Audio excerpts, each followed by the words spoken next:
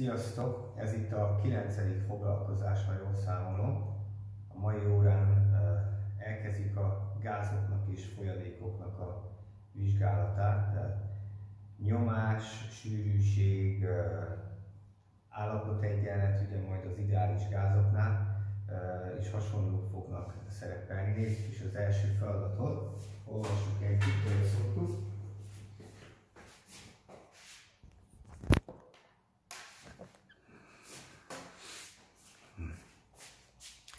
Egy gumi tapadó korongot teljesen rányomunk a tiszta üveglapra az ábrán látható módon. Rányomás után a korong sugara 2 centi. A. Miért tapad rá a korong az üveglapra? B. Becsülje meg legfeljebb mekkora tömegű terhet képes megtartani a tapadó korong. A tömege elhanyagolható, a G az meg 9,81 méter per szekundum négyzet. Hát először rajzolok egy, rajzolok egy ábrát is azon talán jobban meg lehet majd érteni, hogy miért tapad rá korong az üveglapra, ha valakinek esetleg még újdonság lenne.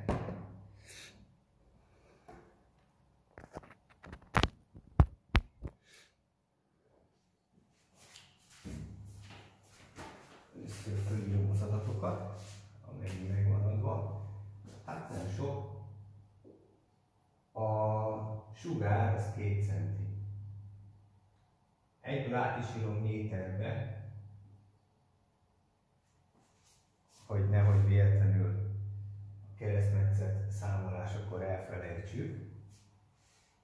És hát, hogyha ennyire erőltetik, hogy a G az most legyen 9,81, akkor nem hanem legyen annyi.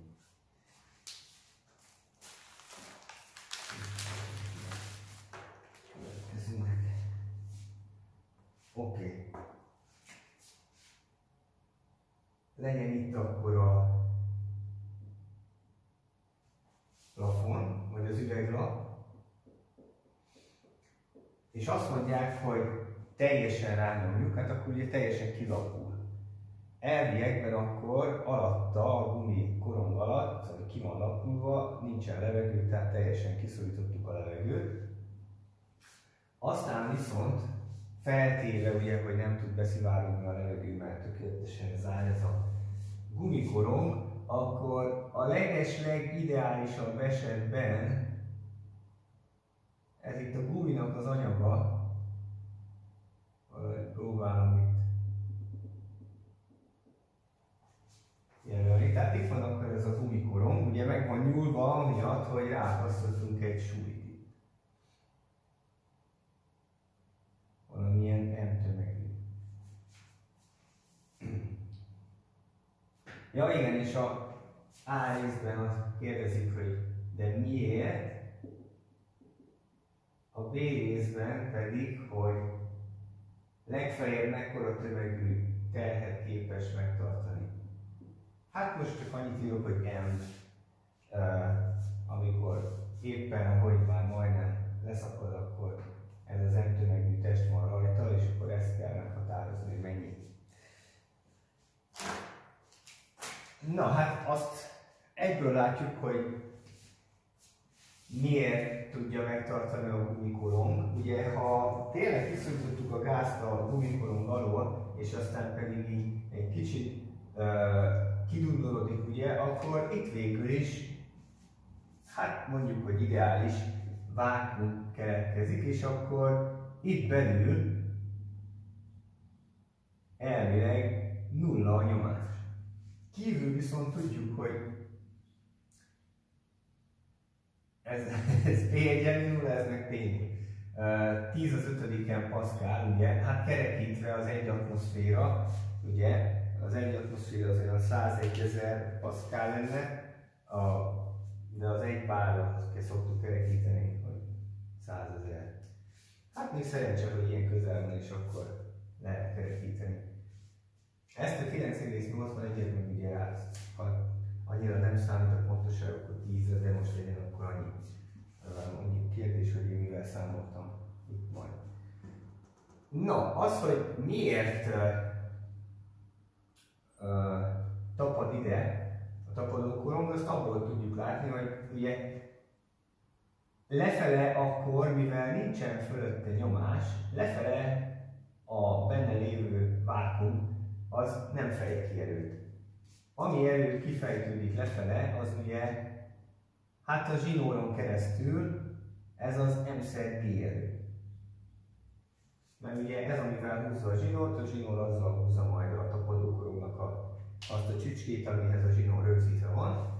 Tehát M G erő húzza lefelé a tapadó korongot, és természetesen a légköri nyomás az pedig egy felfelé ható erőt fej ki, úgy eloszolva a tapadókorunk keresztmetszete mentén.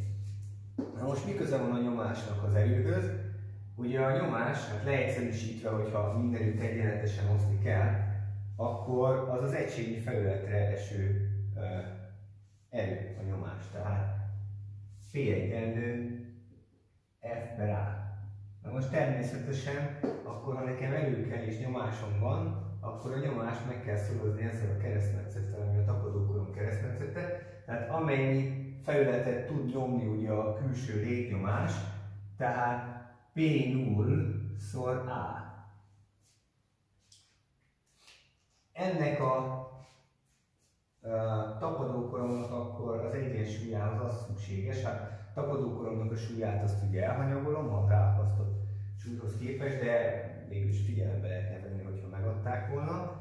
És akkor azt kell mondani, hogy ez a p rá, tehát a külső légnyomás által kifejtett erő. Ugye ha felül is p nyomás lenne, vagyis nem szigetelt volna a tapadókorong, akkor ugye belül is ugyanaz a nyomás, tehát extra erőt nem tudnak kifejteni, mert ugye a belső nyomás az pont kiejteni a külső, tehát simán leesne. Így viszont, hogy a tapadókorongnak ez a hátjája fölött ugye nincs nyomás, ezért lefelé ható erő nincsen, csak kívülről felfelé ható, és akkor ez egyenlő az M vel Na most ha nekem ugye az M kell, hogy ez már a B rész, az A részben, hát nem célirányosan magyaráztam, de remélem, hogy akkor le lehet szűrni, hogy le lehet szűrni, hogy mi okozza ugye a nyomás különbség. A, azt, hogy megbírja tartani a tapadókorong, és akkor, ha innen a tömeget ki akarom fejezni, tehát ebben az esetben ugye ez a, ez a maximális erő, amit a tapadókorom ki tud fejteni, vagy meg tud tartani maximális tömeg, akkor az ugye P 0 A per. Hát gondolom attól függően ugye nyúlik egy kicsit, meg úgy kidomborodik a fenekre, tudja, tehát ebben az esetben a nyomáskülönbséget nézve ideális esetben, tehát például tökéletes vákummal, ez lehet ez a maximális tömeg, amit meg tudunk úgy becsülni, hogy ennyit bír megtartani. Jó, és akkor ugye a külső nyomás helyett beírom azt, hogy 10 Pascal, a kör keresztmetszetű felületre pedig ugye R négyzetszer pi, tehát 0,02 méter a négyzeten szer pi, és akkor ezt kell osztani ezzel a 9,81 méter per szekundum négyzettel, amelyből aztán kapjuk, hogy 12,57 kg.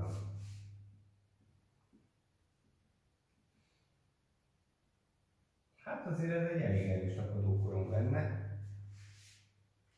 12,57 kg. Jó, hát ha minden ideális.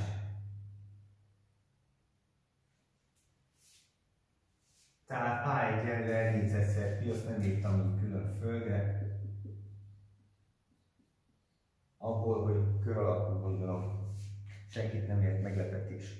Jó, hát ez a feladat, ez végül is ennyi. A nyomásnak a definíciója az az új dolog, ami bejött, és akkor ezt kell felhasználni. Ez egyébként többször is elő fog kerülni majd a különböző példák során, hogy van valamilyen elválasztó felület, és akkor az egyik oldalán ilyen a nyomás, a másik oldalán ilyen a nyomás, ugye akkor a felület nagyságának megfelelően P egyik oldalról szól A, P másik oldalról szól A nyomják, és akkor a nyomások közötti különbség az végül is erők közötti különbségi alakul, attól függően, hogy mekkora a felület.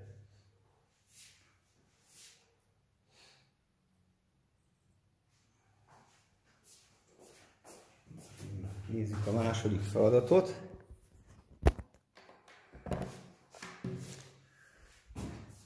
Elhanyagolható tömegű műanyag pohárba 400 g vizet öntöttünk. Ebbe rúgós erőmérővel egy alumínium testet lógattunk bele. Ekkor a mérleg 420 g-ot, a rúgós erőmérő pedig 0,6 N erőt mutat. Mekkora emelőerőt fejt ki a víz a testre? Mekkora a test tömege? Most a G az 10, hál' Istennek. Jó, és akkor itt van egy ábra, ha valaki nem töltötte volna a PDF fájlt, hogy itt is meg tudja szépen nézni. Ugye ott látható a rugós erőmérő, tartja a testet, kicsit belúg, vagy hát nagyon belúg a, a folyadékba, és akkor adta meg a mérleg. De majd mindjárt úgyis lerajzolom ezt.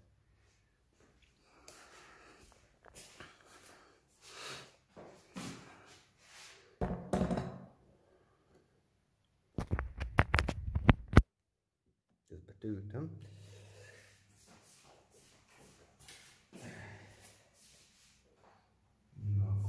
töltöm. Itt egy másik dolog fog előkerülni, addig még tőlük elmondom, ugye ez az Archimedes törvénye, minden vízbe mártott test, vagy valamilyen más folyadékba, minden vízbe mártott test a súlyából annyit vesz, amennyi az általa kiszorított vízsúlya, vagy a folyadékba jött belemártjuk. Na most, hogy ez miért történik így, ha valakit érdekel, az akár egy ilyen téglatestszerű bemerülő test esetében, vagy négyzetes oszlop, vagy hogy hívják, bemerülő test esetében nagyon könnyen ki tudja számolni, hogy a felhajtó erő, ami ugye ez a, amiatt veszít a tömeg vagy súlyából látszólag, az miért egyenlő a folyadéknak a tömegével, mégpedig úgy kell kiszámolni, hogy a hidrosztatikai nyomást kiszámoljuk az alján, hogy H szor Rho szor G, H a folyadékoszlop magassága, Rho a sűrűsége, G az ugye a 9,8. Alulról ugye a hidrosztatikai nyomás felfelé nyomja, felülről pedig lefelé, az oldalirányba kiesnek. És ezért kell ugye egy szép szimmetrikus testet venni, hogy jól lehessen számolni könnyen. És akkor, hogyha valaki kiszámolja, hogy alulról milyen erő, felülről milyen erő, ugye a nyomás különbség miatt, pont ki lehet hozni, hogy ez megegyezik a kiszorított folyadéknak a súlyával.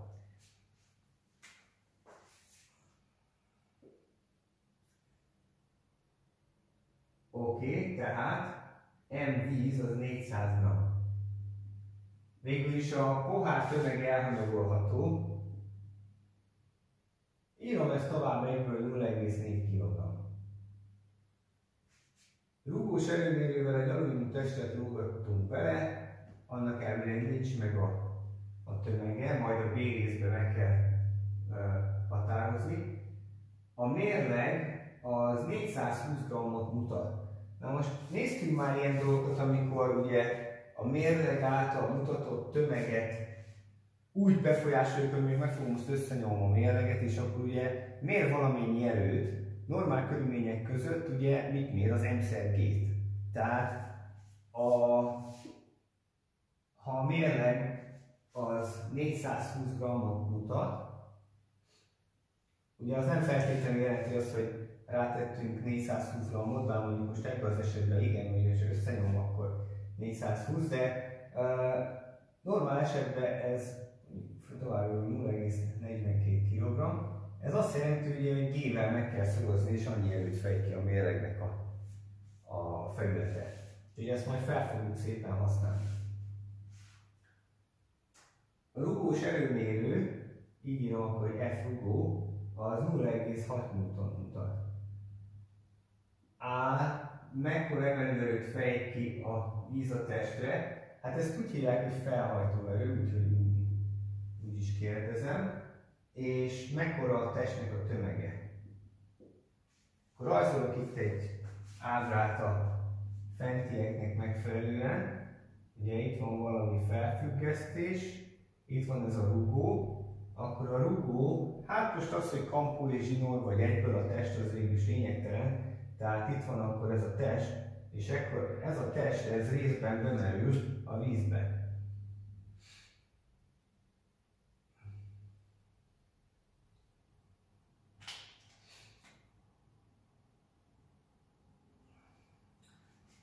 és az egész ipriket tartja ez a mérleg.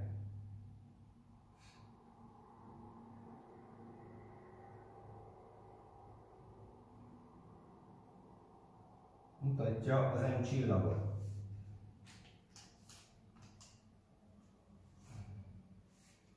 Hát az, vagy mutatta, hogy MM, hogy mérleg által mutatott tömeg. Mivel a múltkor M csillaggal jelöltük, ezért most is így egy M csillagot írok a mérleg által mutatott tömegre. Hát most ebből az, ami minden így, így is rajta van.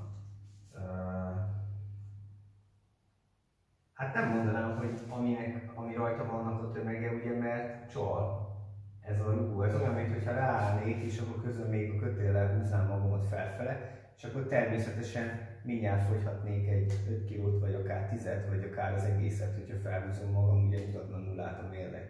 Tehát azért is ez nem az igazi tömeg, nem mindig az igazi tömeg, csak hogyha egyéb erők nem hatnak. Ha pedig ugye fordítva csinálom, tehát lefelé nyomnám magam, akkor meg tudnék nagyobb tömeget előidézni a mérleget. Oké, okay, tehát uh, ez nekünk itt a helyzet. Itt akkor be tudom jelölni a rugónak az erejét, hogy húzza fölfelé a testet. Van ugye egy felhajtó erő itt a testre a víz által,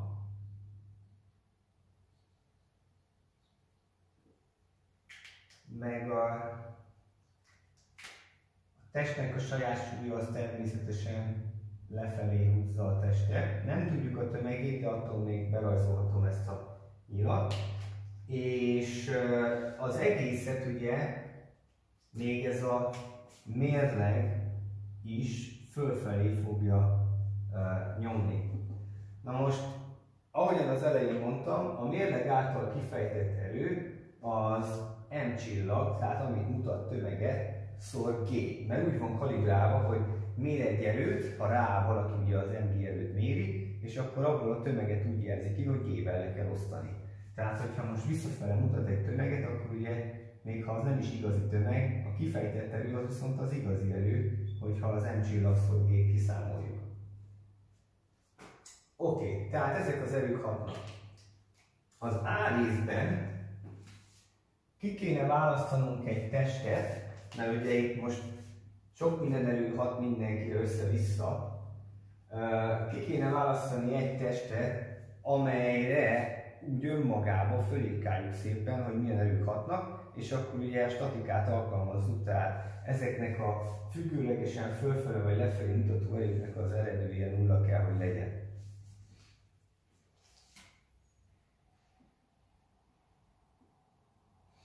Kérdés, hogy melyik testet választjuk ki, hogy ez a jó kis felhajtó erő egyből bejöjjön. Na most, igen, gondolhatná valaki, hogy választja a testet automatikusan, de ugye, hogyha felhajtó erőt akar számolni, akkor ha még ez is itt van, akkor kéne neki a testnek a tömege, ami meg a részben a kérdés.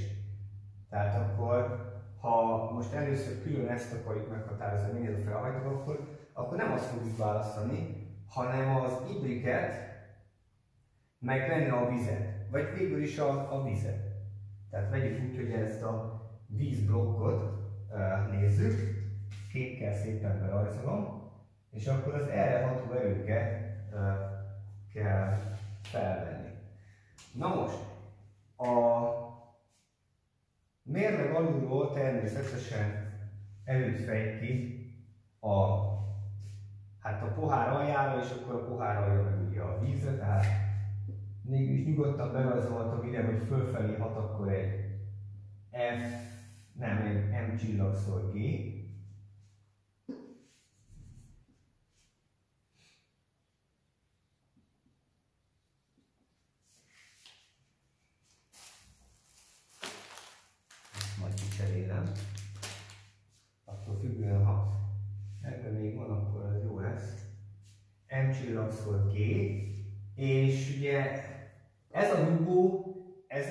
vízre, mert ez a testet húzza fölfelé. Viszont, ugye itt be van rajzolva, hogy egy felhajtó erő hat fölfele a testet.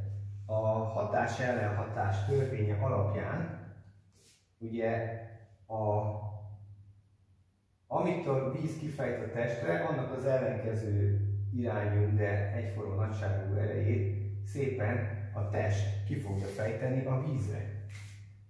Tehát ennek a felhajtó erőnek a mínuszát berajzolhatjuk, mivel csak a nagyságot írom, ezért írhatom ide is, hogy FF, és akkor lefele. Tehát nem írtam rá vektorjelet, úgyhogy nem baj az, hogy ez felfele mutat itt meg lefele. És természetesen még amit kihagytam, az a víznek a súlya. Viszont az meg van adva, hogy M víz, és akkor az G-vel megszorozzuk. Tehát, ha a víztömeget tekintem, ezt a kis blokkot, ami tég, téglatestet, ugye, ami a víz, akkor nem, nem érjek el, vonalatot kell volna, inkább nem gárna, mindegy. Tehát akkor azt kell fölírni, hogy ami lefele mutat, az egyenlő, ami felfele, vagy írhatjuk, hogy legyen a fölfele a pozitív, vagy az z tengely felfelé, és akkor ennek az egyenletnek csak a z komponense kell, mert az összes többi az 0 egyenlő 0. Tehát akkor ez azt jelenti, hogy az m csillag g mínusz a felhajtó erő, meg mínusz még ez a, a víznek a súlya, ez egyenlő nullával. És akkor annyit kell csinálni, csak hogy a felhajtóerőt átvinni a másik oldalra, tehát hozzáadok mindkét oldalhoz egy felhajtóerőt, és akkor ami itt marad, az egyenlő a felhajtó erővel, mert az a kérdés, igen, m csillag mínusz mv-t azt kiemelem szépen, és akkor g-vel megszorzom, és a g-t emelem ki.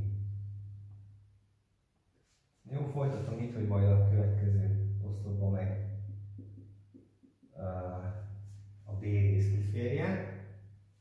Tehát akkor, ha az M csillagból a 0,042-ből levonom a 0,4-et, akkor az 0,02 kg. És akkor ezt kell megszorozni 10-zel.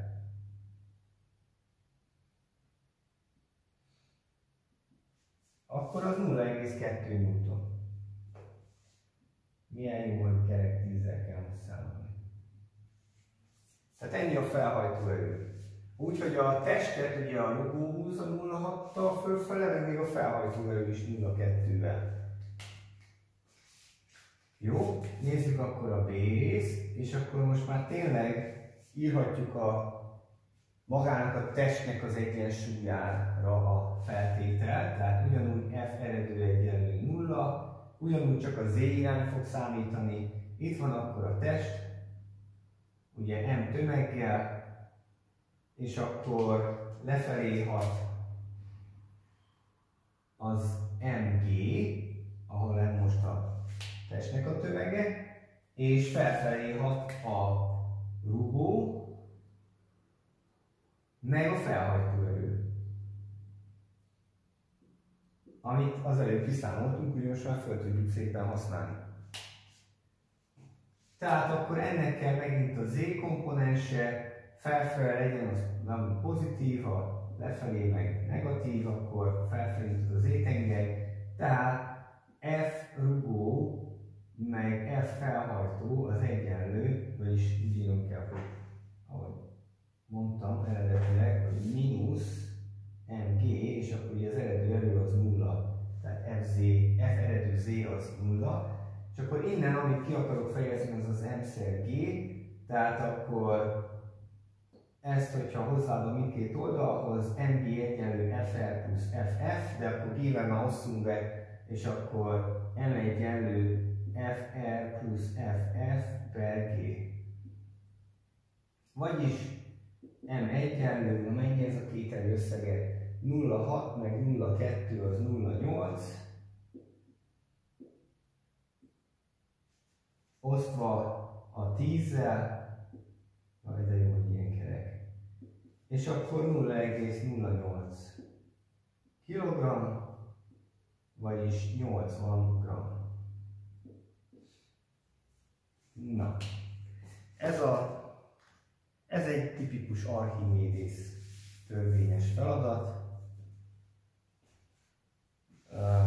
lehet kombinálni így, lehet kombinálni úgy, de a lényeg az ugyanaz, ugye statikáról van szó, tehát az eredő erőnek nullának kell lenni, és akkor itt általában úgy, is az lesz majd, hogy felfele vagy lefele, tehát egydimenziós a, a feladat, csak egy egyenletet kell ugye a háromból, amit elvileg fel kéne írni, hogy f eredő x egyenlő 0, f eredő y egyenlő 0, f eredő z egyenlő 0, ugye mivel egy dimenzióban vannak csak az erők, ezért elég egy, egy egyenlet. Jó, azt nem mondtam, hogy a hidrostatikai nyomás, hogy az micsoda. A folyadékoszlop saját súlyából származó nyomás. Tehát, hogyha itt van egy ilyen folyadékoszlop, most már tényleg vonalakkal rajzolom, H magassága van neki, akkor ugye ez M G erővel fogja nyomni az alját itt, aminek A keresztmetszete van. Ha ezt az M G erőt kifejezzük az M-et úgy, hogy rho szor V, de a V az ugye A szor H, szépen kifejezzük, és akkor elosztjuk az A-val, hát felírom gyorsan, mert nem tudom sem eddig, ugye nyomás az ugye erő per felület, de itt a tömeget azt kifejezzük szépen úgy, hogy uh, V-szer rho, vagyis A-szor H-szor rho, meg még a G, osztva A-val, és akkor H-szor rho-szor G.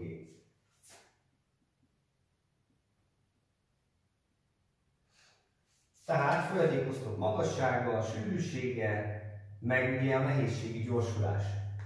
Ez azt jelenti, hogyha ugye nagyobb lenne a nehézségi gyorsulás, akkor ugyanolyan folyadékoszlopot nagyobb lenne a súlya, tehát természetesen nagyobb nyomást eredményeznek.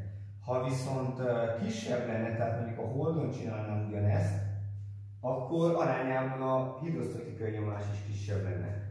És az extrém helyzet, amikor mondjuk leejtek egy vödröt, vagy valamit, mivel akkor az ejtés közben effektíve a gép nullának kell lenni, mert ugye magával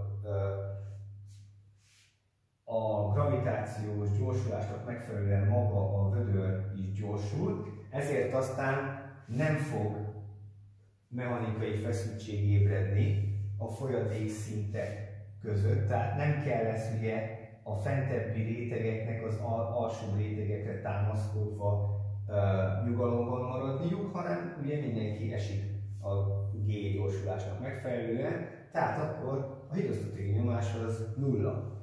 Hogyha lefelé gyorsul valamennyire a vödör, akkor azt a gyorsulást ugye úgy kell figyelembe venni, hogy a G értékéből azt levonjuk, tehát effektíve, ha mondjuk G per 2-vel gyorsul lefelé, akkor a effektív G az ugye marad G per 2. Ha viszont felfelé gyorsul, akkor hozzáadni kell, ugye mert akkor még nagyobb erő ébred a folyadék szintjei között, és akkor mondjuk, ha G-vel gyorsul a fölfele, akkor két G kellene írni ide.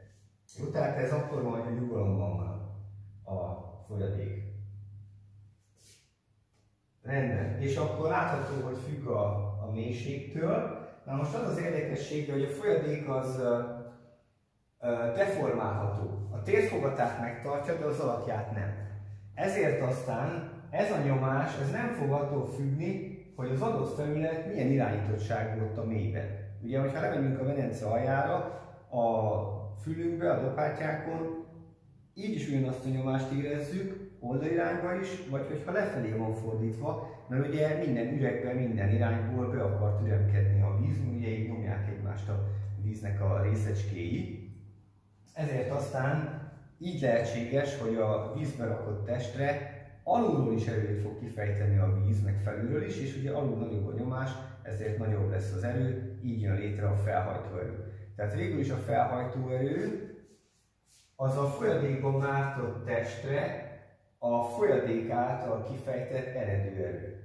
Oldalirányból, csak azok kiejtik egymást, felülről, alulról, meg minden irányból, és be lehet látni szabálytalan alakra is, hogy az pont úgy fog kijönni, hogy a kiszorított folyadéknak a súlyával egyenlő. Na, szerintem még többet is mondtam, mint mi feltétlen kell. Nézzük a következő példát. Hát ez egy középszintű feladat, úgyhogy valószínűleg nem fog sokáig tartani meg.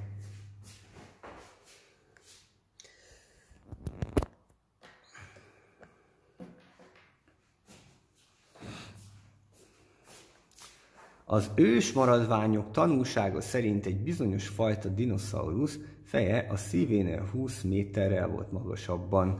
A szív a talaj felett 8 méter magasságban helyezkedett el. Hát akkor ez egy 28 méteres dinoszaurusz, gondolom az a hosszú nyakú magas fej, akinek a Jurassic Parkba az elején ami volt.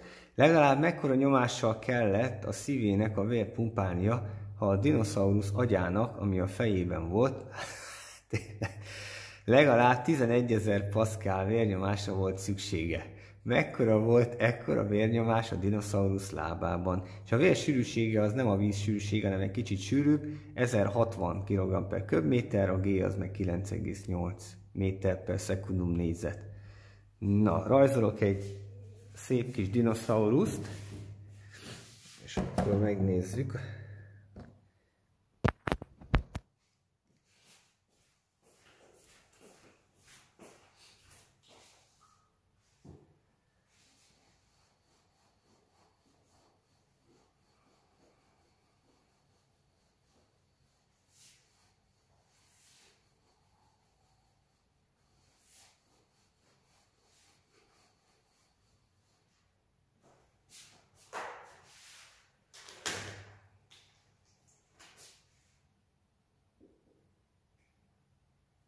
Oké.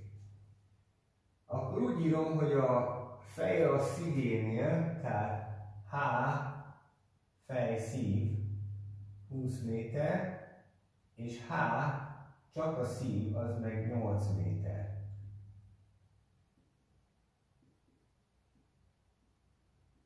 Ja, és a vérnyomás a fejében fejé, hát igen, a fejében, PF, az 11 ezer paszkál.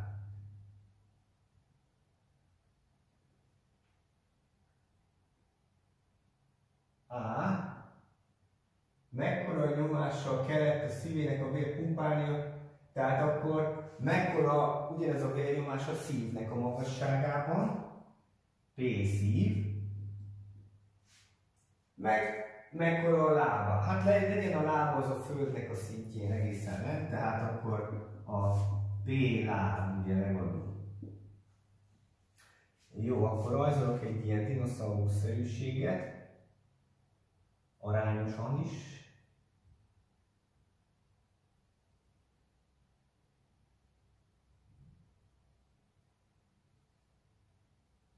Valami ilyesmi volt a filmben.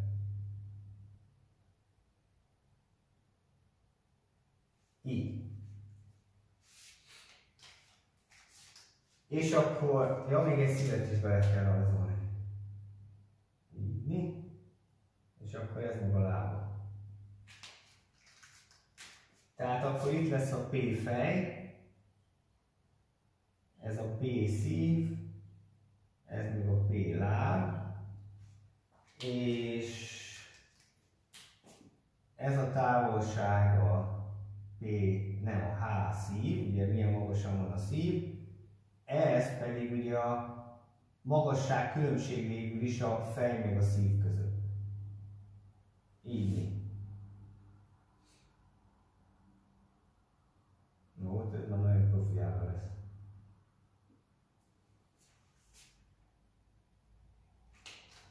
És akkor valami egy eret is berajzolok már, hogy Ja, itt az anyag. Igen.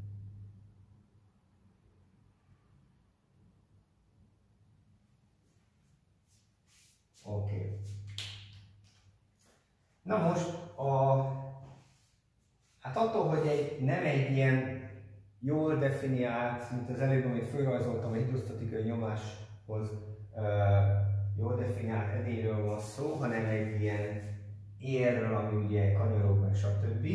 Ettől még továbbra is igaz lesz, hogy a hidrosztatikai nyomás az ugye a H-szor G képettel számolandó, tehát ugye, hogy a folyadék ránehézkedik és akkor nyomja lefele végső soron. Hát az ereknek, ha kiszámolnánk a, a oldalirányú erőket, stb. így meg úgy, akkor végül is ugyanúgy azt kapnánk, hogy H-szor G hidrosztatikai nyomást kell használni, akkor is, hogyha ilyen feldénálnak a, a, az erek. De mégis rajzoltam úgy, hogy így egyenesen, hogy jobban látszódjon.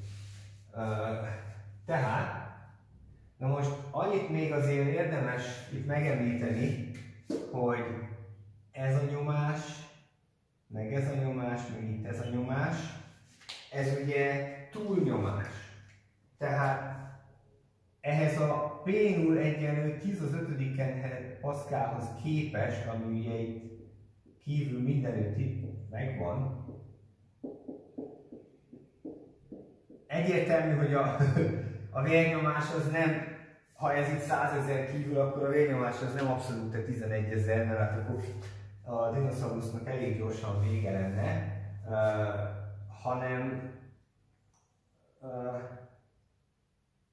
ehhez képest még plusz 11 ezer, tehát végül 111 ezer. De most mi úgyis a nyomáskülönbséget fogjuk számolni, ugye itt már van valamennyi, amennyivel lentebb vagyok, azzal a földékosztók magassággal kell akkor számolni az itteni nyomást, tehát ez a nyomás, ez egyenlő az itteni, plusz a földékosztók hidrosztatikai nyomása, és amikor ezt a nyomást számolom, akkor amennyit idáig kiszámoltam, még hozzáadom ezt a földékoszlopot. Tehát végül is ennyi a feladat.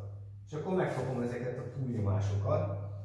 Ja igen, itt azért ez, a, ez már itt az alja.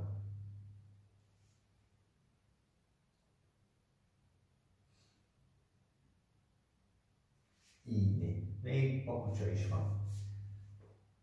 Tehát akkor A rész a szívénél a hidrosztatikai nyomás, túlnyomás, akkor úgy mondom, az a fejénél a vérnyomás, plusz a H fej-szív közötti magasságkülönbség H-szor G. Tehát 11 ezer plusz a magasság az ugye 20 méter, 1060 a sűrűség, azt fel se írtam, vajon.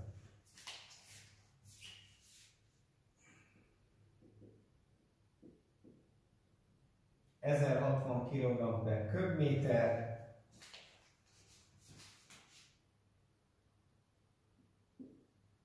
szorozva a 9,8 méter per szekundum négyzettel. Hát elég érdekes számot fogunk kapni, mert elég brutál túlnyomást kell elviselni a szegény dinoszaurusz szívének. Nem csoda, hogy nem volt túl egészséges a ekkora nagy méret számunkra. 218.760 pasztál.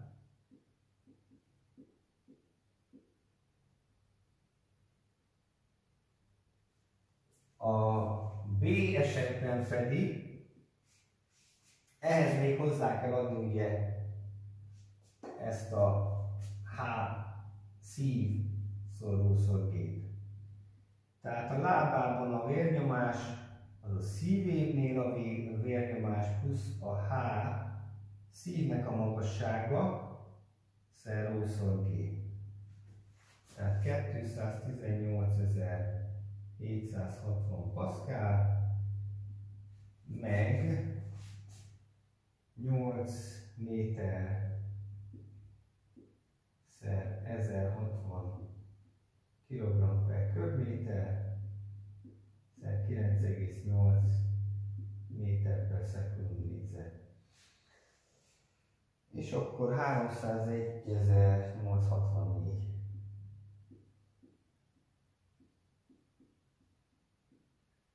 és ha abszolút nyomást akarnék, akkor természetesen 100 ezeret mindenhol hozzá kéne adni, mert ugye már ehhez képest nézzük ezeket az értékeket.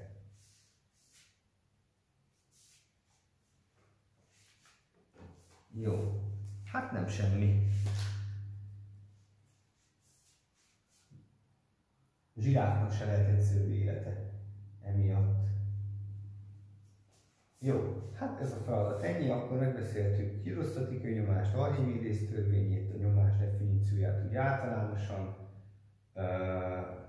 és ez idáig közösen úgy hívják, hogy hidrostatika. Nem, foly, nem folyik a víz sehova, ugye? Folyadékoknak a statikus viselkedéséről volt csak szó.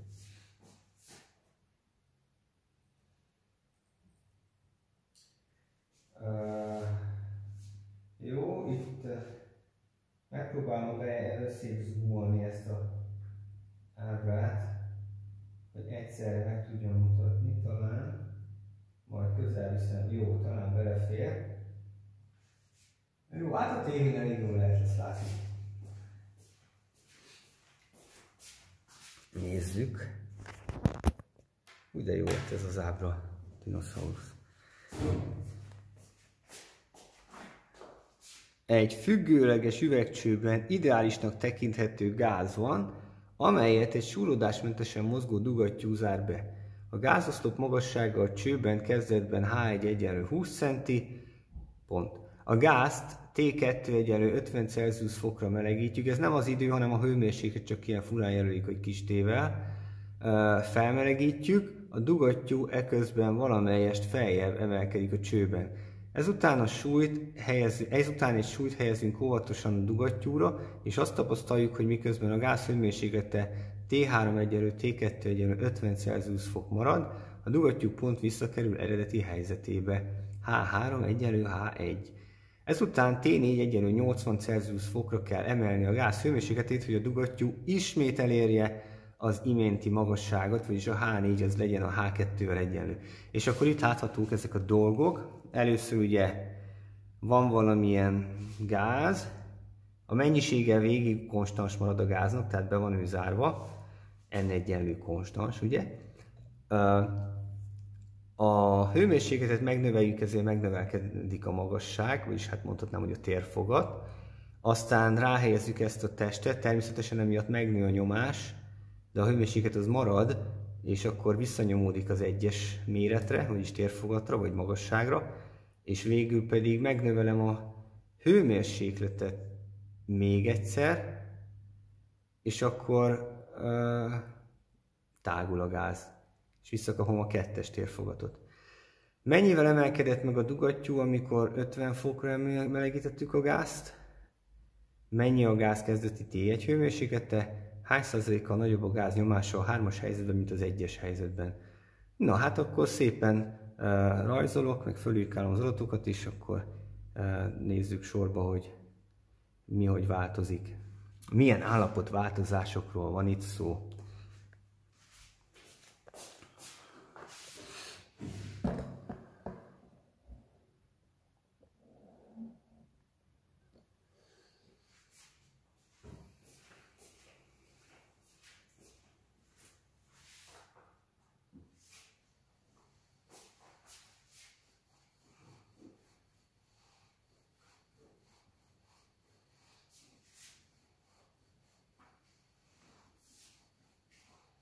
Na itt már elkezdjük az ideális gázoknak a tárgyalását, vagyis a termodinamikát, amikor ugye úgy nekem töltő.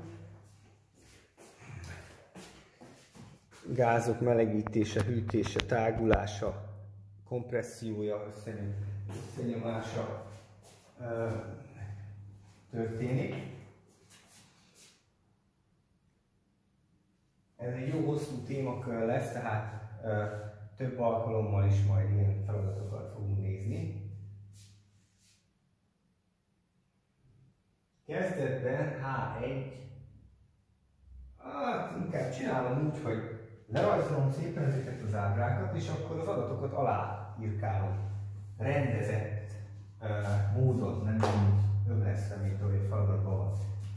Tehát itt van nekünk az eredeti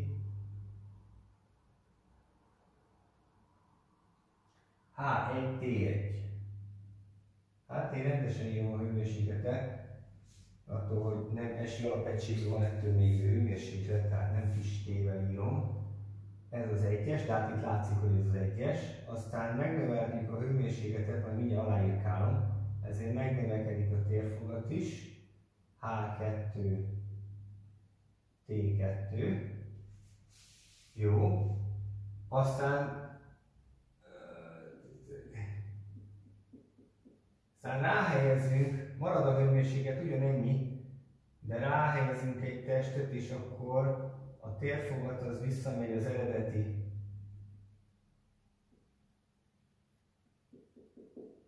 H, hát a H3 egyenlő H1, de most akkor írom hivatalosan, hogy H3 meg T3, és akkor majd aláírom, hogy egyenlő, mivel egyenlő. És a négyesnél pedig visszakapjuk ezt a magasságot, hiába van rajta a súly.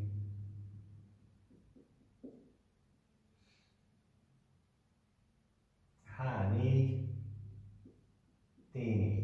Na és akkor most írtálom alá dolgokat. Először is H1 egyenlő 20 centi, oké. Okay. Szépen összegyűjtjük, hogy mi mennyi. Akkor ebben a sorban mindenhova írom a H-kat majd, de először is azt mondják, hogy T2 az 50 Celsius fok. Hát akkor legyen a következő sor majd a T.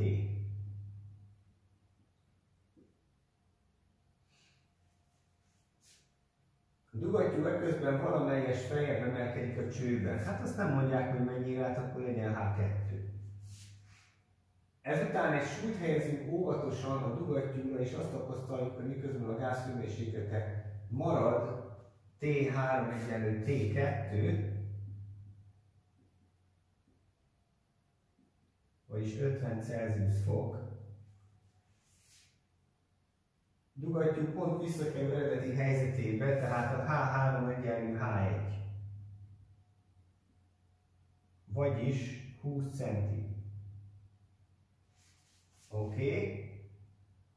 Ezután 80 fokra kell melegíteni a gázt, hogy ismét elérje a H2 magasságot.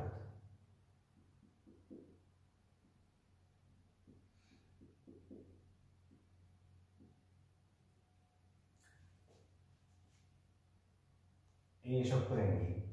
Ja, a kérdések. Mennyivel emelkedett meg a dugattyú, amikor 50 fokra melegítettük a gázt? Tehát végül is, amit kérdeznek, az a H2 H1.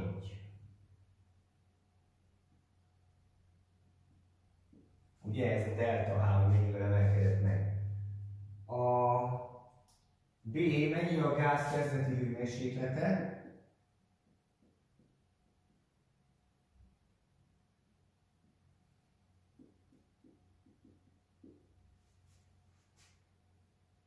C hány százalékkal nagyobb a gáz nyomása a hármas helyzetben, mint az egyes helyzetben? Hát akkor ezt valahogy úgy kéne számolni, ugye, hogy kivonom a hármas nyomásból az egyes nyomást, elosztom az egyes nyomással, ugye ez, hogy mennyivel nagyobb, ez arányában hanyad része, és hogyha százalékban akarom, akkor még egy száz százalékkal megszorzom. Így.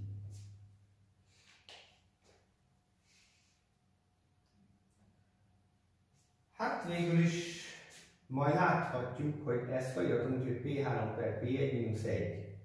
Az, hogy most ott az a százas ott van szorzódik, ha már kiszámoltam azt, hogy P3 per P1 mennyi, akkor abból le tudok vonni egyet, meg százal meg tudom szorozni. Tehát végül is itt a kulcs az, hogy a P3 per P1-et kéne majd meghatározni.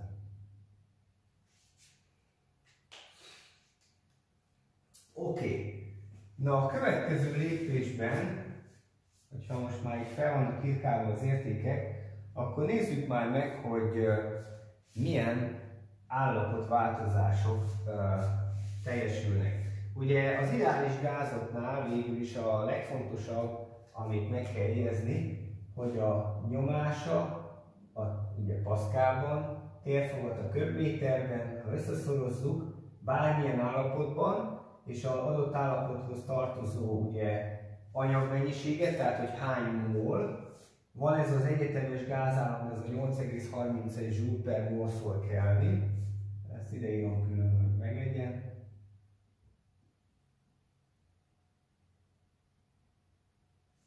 Ez végül is egyenlő a Boltzmann állandó szorozva az számmal. Mert ezt az állapot egyenletet úgy is föl lehet írni, hogy n-szer k és akkor itt van még a hőmérséklet Kelvinben. Ez itt a Boltzmann állandó. Ami 1, a fele tudja már mennyi, de 10 23-on. Azért nagyon kicsi szám, ez meg nagyon nagy, mert ez meg a részecskéknek a száma, Úgyhogy ha ezt elosztom az avogadó számmal a 6x10 a 23 onnal, akkor megkapom a mólok számát. Ezt viszont akkor, ha meg megszorozom a 6x10 a 23 onnal, akkor kapok egy e, sokkal szebb számot, ugye 8,31-et, és akkor ez így, hogy is mondjam, esztétikusabb ez, ahol itt nagyon nagy szám, itt meg nagyon kicsi. Jó, Na most, a lényeg az, hogy bármely állapotban, az évek állapot egyenletnek, ez teljesül. Tehát majd meglátjuk, hogy a különböző állapotváltozásokra föl lehet szépen használni. Kimondottan ezt is, akkor mindenki jön belőle. A lényeg az, hogy az N az végig állandó, ugye a gáz mennyisége nem változik meg. Ez nagyon fontos, mert akkor ez a betű, meg ez a betű, az már mindjárt konstans egészen végig. Csak a nyomás, a térfogat, meg a hőmérséklet az, ami változik.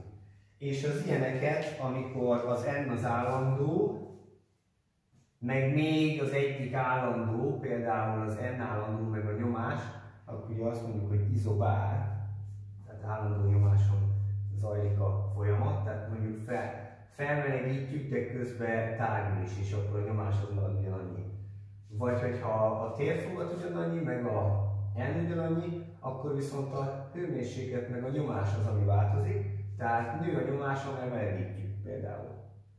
És az utolsó, ha meg a hőmérsékletet tartom konstans értéken, tehát folyamatosan mondjuk a külvilágban ugye le, hőcsere van, tehát le tudja adni a plusz hőt, vagy a plusz energiát, vagy fel tud venni energiát hőformájában, akkor meg a nyomás növelem, akkor a térfogat fog ugye, vagyis igen. Tehát ha csökkentem a térfogatot, akkor nőni fog a nyomás.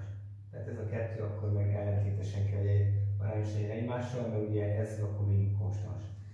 Na, majd mindjárt meglátjuk a különböző, ezt tudják, hogy izokor állapotváltozás, amikor ez meg ez egy állandó, ha meg a, itt végig az egész mindenség állandó, a hőmérséklet is, meg az end is, akkor az meg az izoterm állapotváltozás. Tehát ezek a speciális állapotváltozás, meg van még egy az adiabatikus, amikor nincsen hőcsere, de az majd a legvégén lesz csak. Oké, na akkor itt milyen állapotváltozásról van szó? Az N az akkor végig. Mi állandó még hozzá? Hát mivel ugye uh, itt van ez a dugattyú a tetején, nem mondják, hogy milyen milyen súlya van a dugattyúnak, tehát akkor, ja bocsánat, P-ket nem írtam föl, tehát itt akkor egy P1 van, itt egy P2, vagy nem, várjunk csak, na mindegy, P2, P3 és P4, és akkor nézzük már át még ezeket a nyomásokat is, mert meg is felejteztem. Mivel ugyanaz a dugattyú van a tetején, és ugyanaz a P0 van kívül, itt is egyébként pénú van, csak még itt van pluszban ez a test is, akkor ezért ugye még plusz egy mg van, amit ha leosztok ezzel az A-val, akkor fogom ugye megkapni a túlnyomást, amit létrehoz ez a test. Uh, most ebben nem kell pontosan belemenni, uh, mert nem szükséges a feladathoz, annak kiszámolása, de uh, majd biztos lesz olyan feladat is. Tehát, mivel dugattyú a tetején, dugattyú a tetején, most nem feltétlenül kell neki elhanyagolható súlyú dugattyúnak lenni, az viszont biztos, hogy a két nyomás az ugyanaz lesz. Hát de akkor ez egy izobár állapotváltozás.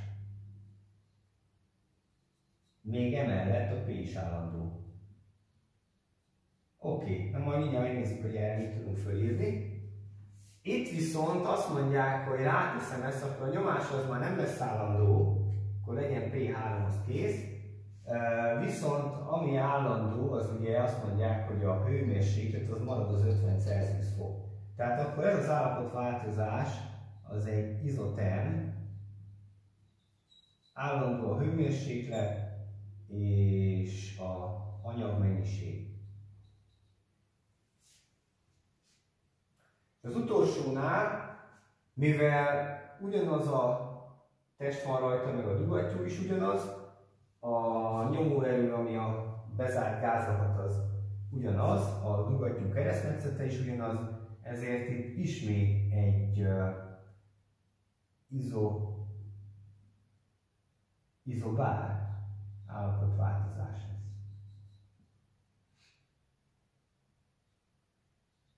Izobár.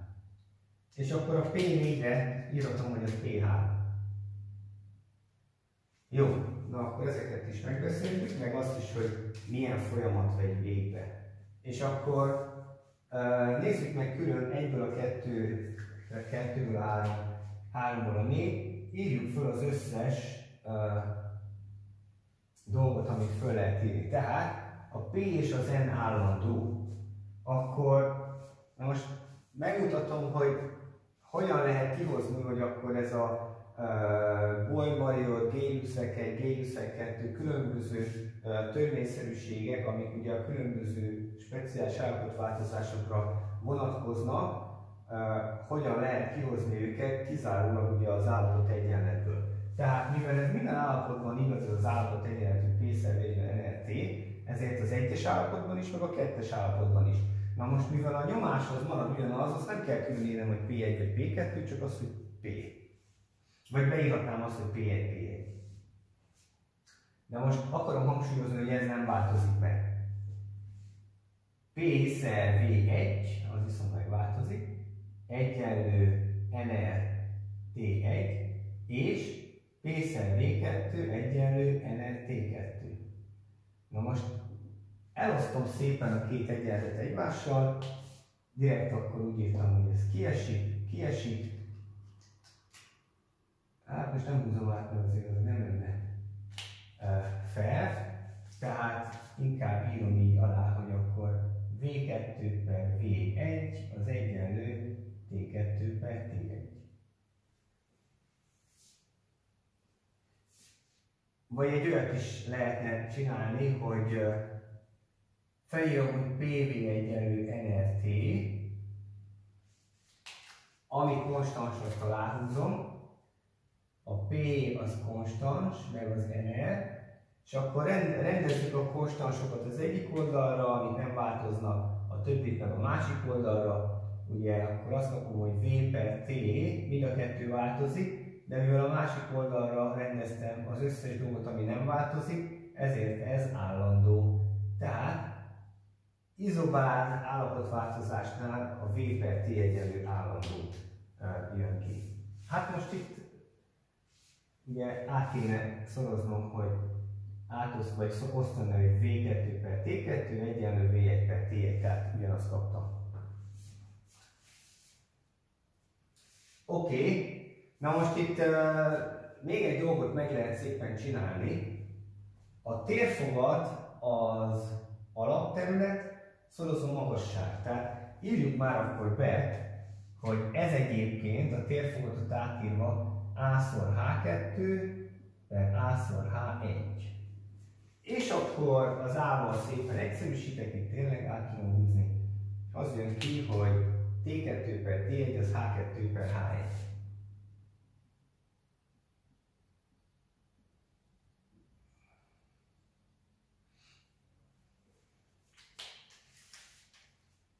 Na most, a H1-em az megvan. H2-t kellene majd számolni ugye az A részben, aki tudja belőle vonni a H1-et, De az a helyzet, hogy a T1 sincs meg, ezért önmagában ez az egyenlet, ez még nem hasznosítható, viszont jó lesz ez majd későbbre. Ugye van még két másik állapotváltozás, amelyeknek szintén fel tudok írni egyenletet, és akkor azokkal együtt majd valószínű meg tudom oldani az összes ismeretlenre a, a feladatot. Tehát ugye van nekem egy ismerete, nem kettő, meg végül is, hát ha arányát nézzük, akkor három ismeretlen. Viszont egy, kettő, három egyenletem is lesz, tehát jó.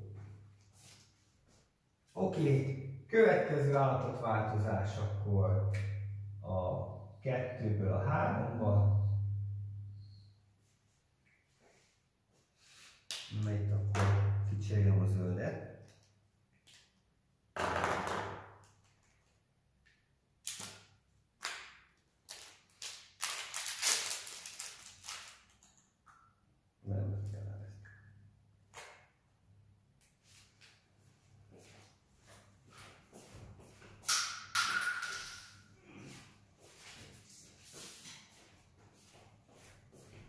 Na, voilà. Kettesből a hármasba.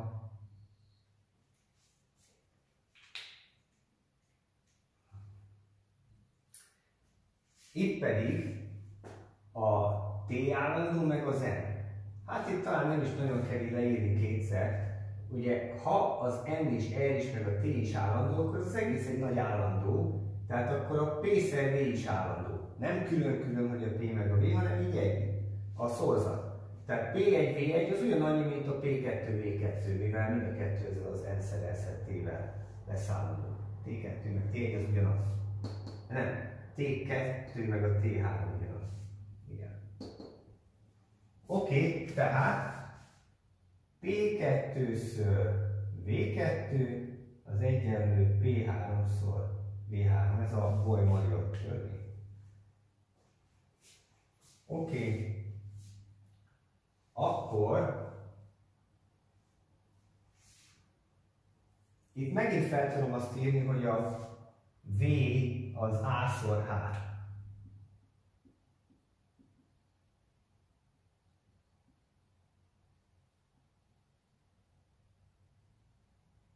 Az A-val megint egyszerűsítek szépen, és akkor mondjuk a, a P3-ra, nem, a P3 per P, ja, a P1 az egyenlő a P2-vel, akkor ezt ide beírjuk szépen. Tehát ebből az egyenletből, ha beírjuk, hogy ez a P2 az egyenlő a P1-jel, akkor ki tudom fejezni azt, hogy mennyi a P3 per P2, vagyis P1.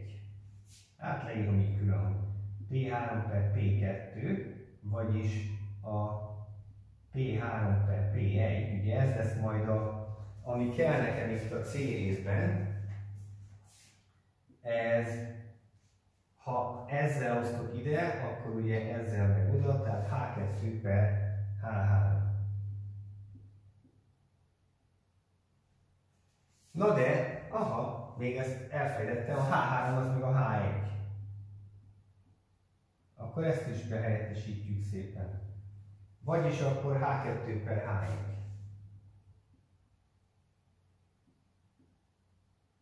Jó, akkor leírom az aljára külön, hogy a, ez a második egyenletem, amit majd fel akarok használni, hogy P3 per P1 az egyenlő H2 per H1.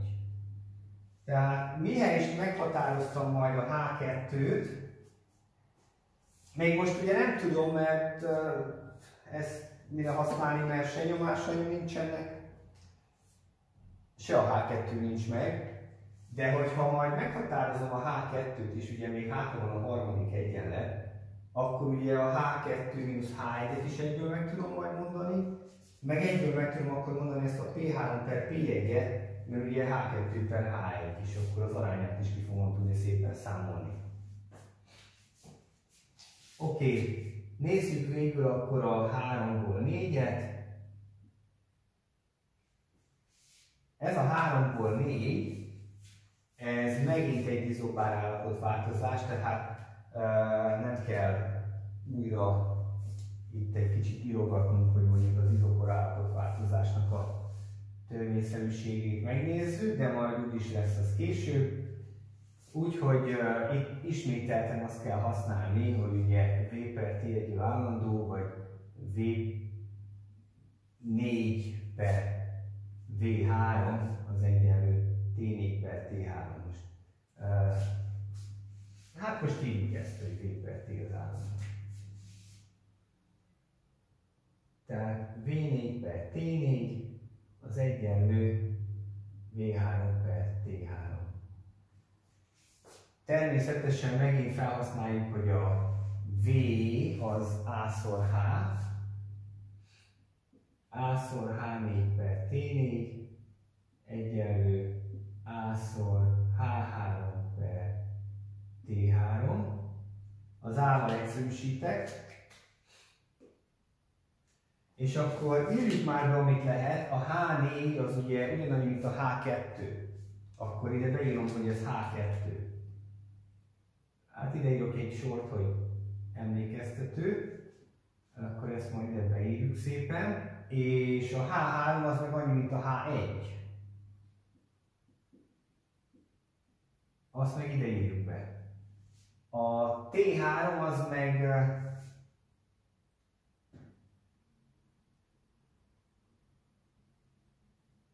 T3 az annyi, mint a T2.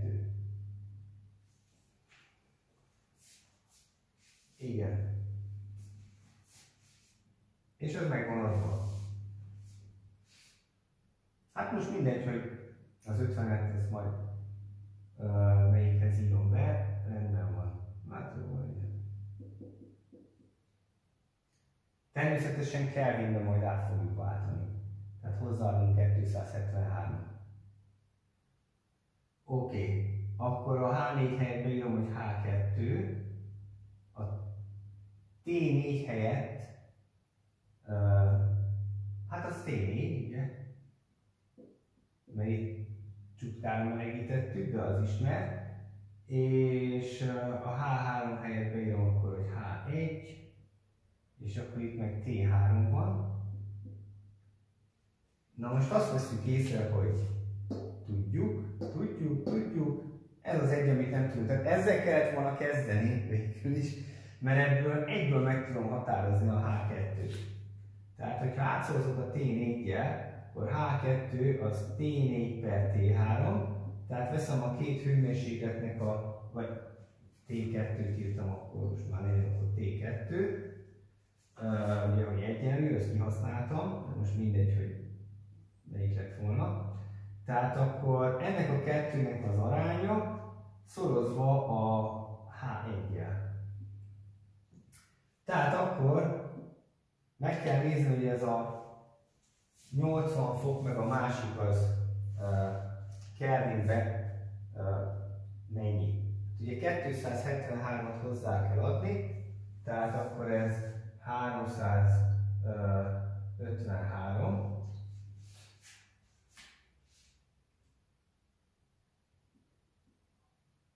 Igen, mondjuk a mértékegység úgyis kiesik, és a T2 vagy T3, vagy aminek akarjuk nézni, ugye, akkor a 273-hoz uh, hozzáadjuk az 50-et, akkor az 323.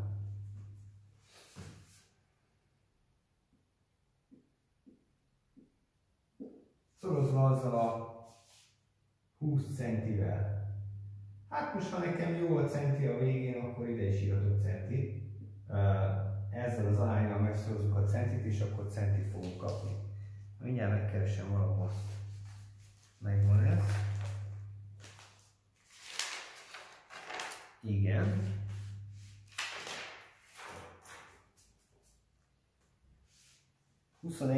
Kilenc centi.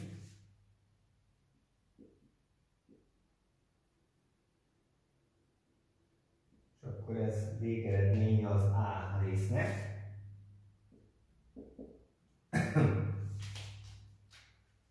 A B résznek pedig, ja B, ja az még nem az A rész, bocsánat, A A rész ugye az a kettő közötti különbség, tehát hogy mennyivel nőtt, hát akkor gondolom mindenki látja egyből, hogy 21,9 lett a végén, és 20 volt kezdetben, akkor 1,9-el fog megváltozni.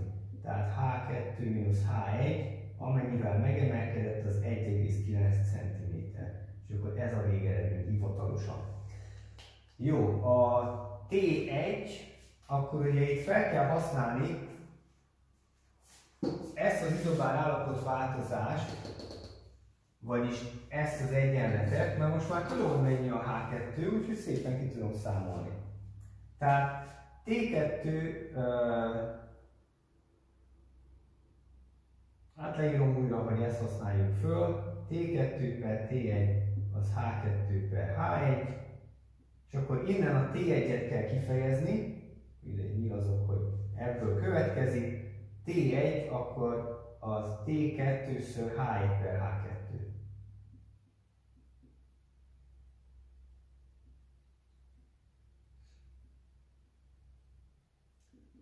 Vagyis a T2 az a 323-as volt, és akkor ezt meg kell sorozni szépen. A 20, hát itt nem is írok mértékegységet, mert úgyis kiesik, 21,9-el. És a hőmérsékletünk az 295 Kelvin.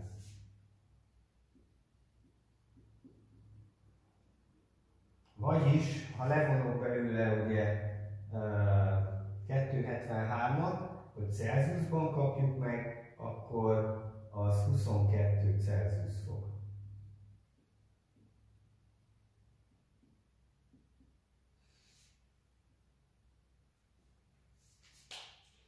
Jó. Tehát a fizikában a hőmérsékletnek az esi alapegysége nem a Celsius, hanem a Kelvin. Ugye a Celsius az arról szól végül is, hogy normál légköri nyomáson 0 Celsius fok esetében a víz megfagy, 100 Celsius esetében pedig a víz felfor. Na most ez a, ez a skála ugye fizikai szempontból nem, fel, nem különleges, mert például a, tehát nem abszolút igazságokat fogalmaz mert például a víz, hogyha felmegyek egy magasabb hegycsúcsra, ahol már alacsonyabb a nyomás, ugye az exponenciálisan csökken a nyomás értéke, ahogy megyek egyre távolabb a földfelszíntől, és végül ugye elhanyagolhatóvá válik, és akkor kilépek a légkörön kívülre. A víznek a forrása ugye egyre kisebb és kisebb hőmérsékleten fog bekövetkezni. Mert a forrás folyamata, bár mondjuk ez meg később lesz, akkor kezdődik meg, amikor a vízben képződő picike buborékokban lévő terített vízgőznek a nyomása az eléri a külső nyomást, és akkor a buborék az korlátlanul tud nőni. Ezért ha a külső nyomás kisebb, akkor a forráshoz szükséges hőmérséklet is kisebb. Sőt, hogyha nincsen külső nyomás, mert mondjuk a holdon vagyok, vagy kint az űrben, akkor a vagy egy vákumkamrában, akkor ugye a folyadék, és hát a víz az tetszőleges nyomáson, hőmérsékleten elkezd forni. Egyébként a folyadék halmazállapota a víznek ilyen esetben nem is lehetséges, ugye nulla nyomáson, hanem vagy szilárdék, vagy pedig uh, vízgőz lehetséges. És a szilárdékből sublimációval uh, egyből a vízgőz állapotba kerülne akkor. Na de mi, miért beszéltem én erről? Elfejtettem, hogy hol jártam. Ja, itt akkor a P3 per P1-et, azt hagyj számoljam már itt tovább, akkor fel tudjuk úgy írni, hogy H2 per H1, vagyis 21,9 per 20. Jó, hát mivel most arányok vannak csak beírkálva, ezért nyugodtan maradhat centibe. Ha ténylegesen ki akartam volna számolni a térfogatot, tehát tényleg kéne akkor a hát használnom arra, hogy abszolút valamit számolja, akkor ugye át kellene váltanom méterbe, és akkor úgy kapnék köbméterben, most úgyis csak egy arány. Igen, és ez az arány akkor 1,095. Jó. Akkor itt ezt felhasználva tovább tudjuk írni. Tehát a, ezt akkor úgy felírom, hogy uh, P3 per P1 mínusz P1 per P1, vagyis 1, szorozva 100%-kal, ugye ez lesz akkor a C válasz, a B akkor már megvan, a C az pedig itt lesz, erre akkor beírom, hogy 1,095, ha abból levonok ugye egyet, akkor az 0,095 ezred, és akkor ha ezt százal megszorzom, akkor 9,5 százalék. Így.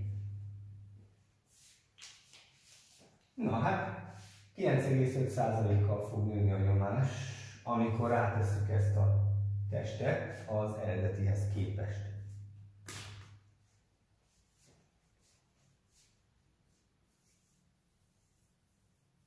Jó, hát azt nem tudom kiszámolni, hogy a P1 az mennyi, vagy a P3 mennyi.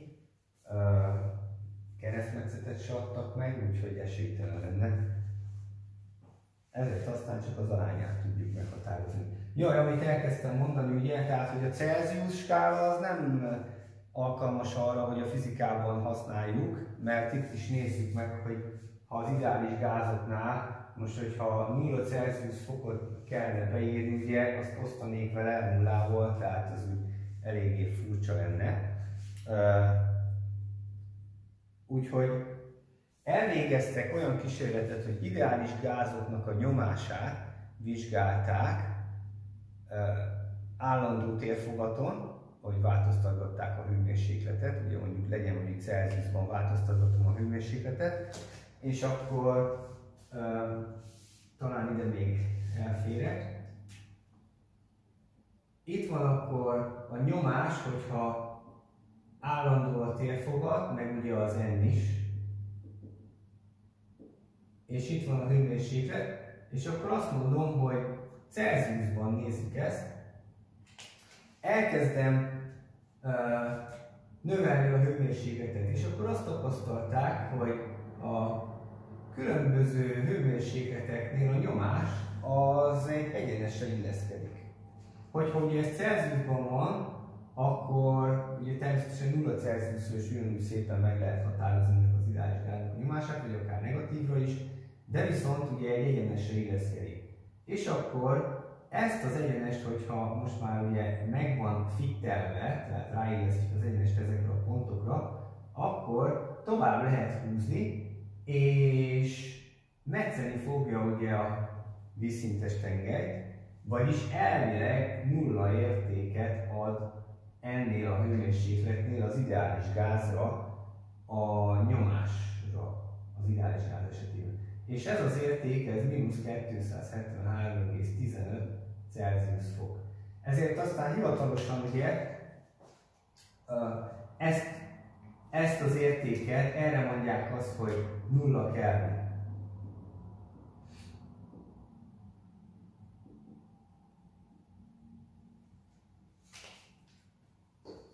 magának a,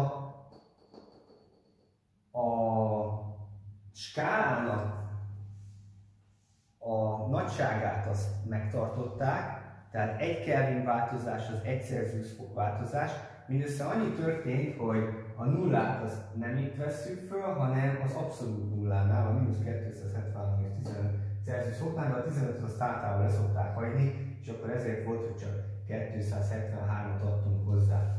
Tehát, ha például ugye azt mondom, hogy mínusz 263,15 Celsius fok, akkor az ugye 10 Kelvin. Meg ugye 10 nagyobb. És így tovább, és így tovább. A 0 Celsius fok, tehát akkor 273,15 Kelvin lenne. Jó, ez nagyon fontos, hogy a skálának a nagysága az ugye megmarad, csak el van tolva, mert például, amikor majd lesznek olyanok, hogy melegíteni kell egy testet, vagy hűteni, és akkor ugye delta T kell, Na most a delta T-nél mindegy lesz, hogy ugye 10 Kelvinnel változik meg a hőmérséklet, vagy 10 Celsiusszal. Tehát amikor hőmérséklet változásról van szó, akkor az, az ugyanakkor a szám lesz mind a két egységben. Viszont abszolút értékben a hőmérséklet az ugye 273 mal Tehát így vezeti be a Kelvin.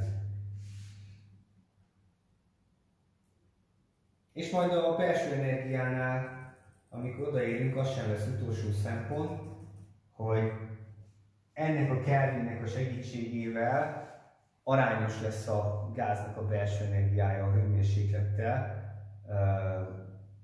nem pedig mondjuk 6 Celsiusban lenne, hogyha 1 Celsiusnál vennénk, vagy 2 Celsiusnál, ugye elvileg kétszer annyi lenne, de nem nagy különbség van az ideális gáz szempontjából az 1 Celsius meg a 2 Celsius között. Nem lesz kétszerese a belső energiája. Kelvinben viszont az 1 Kelvin, vagy a 2 Kelvinnél elvileg, ha még mindig ideális gáz állapotban lenne, akkor uh, kétszer annyi lenne. Jó, természetesen uh, ugye ez így, ez ideális gázra vonatkozik, egy gyakorlati mérés szempontjából uh, nem feltétlenül lehetne ezt ugye ténylegesen továbbvinni, és még egy olyan mérés is elvégezhető, hogy a nyomást tartják konstans értéken, és helyette a térfogat változását nézik meg a hőmérséklet változásával, hát egy ugyanilyen ábrát kéne rajzolnom. Tehát akkor ugye, hogy változtatjuk a hőmérsékletet, mondjuk hagyjuk, hogy a, a gáz légköri nyomáson neki megfelelően szabadon tárguljon, összehúzódjon, ahogy jól esik neki, és változtatom a hőmérsékletét, akkor az is lineáris függvénye lesz a hőmérsékletnek, hogyha Kelvinben van. Vagy lineáris függvénye, és hogyha Kelvinben van, akkor még nullánál is fogja. Tehát akkor meg úgy mondanám, hogy akkor egyenesen arányos lesz a hőmérséklettel, nem csak lineárisan. Lineáris függvénye. Jó, na ezt uh, akkor megvan minden szerintem letörve.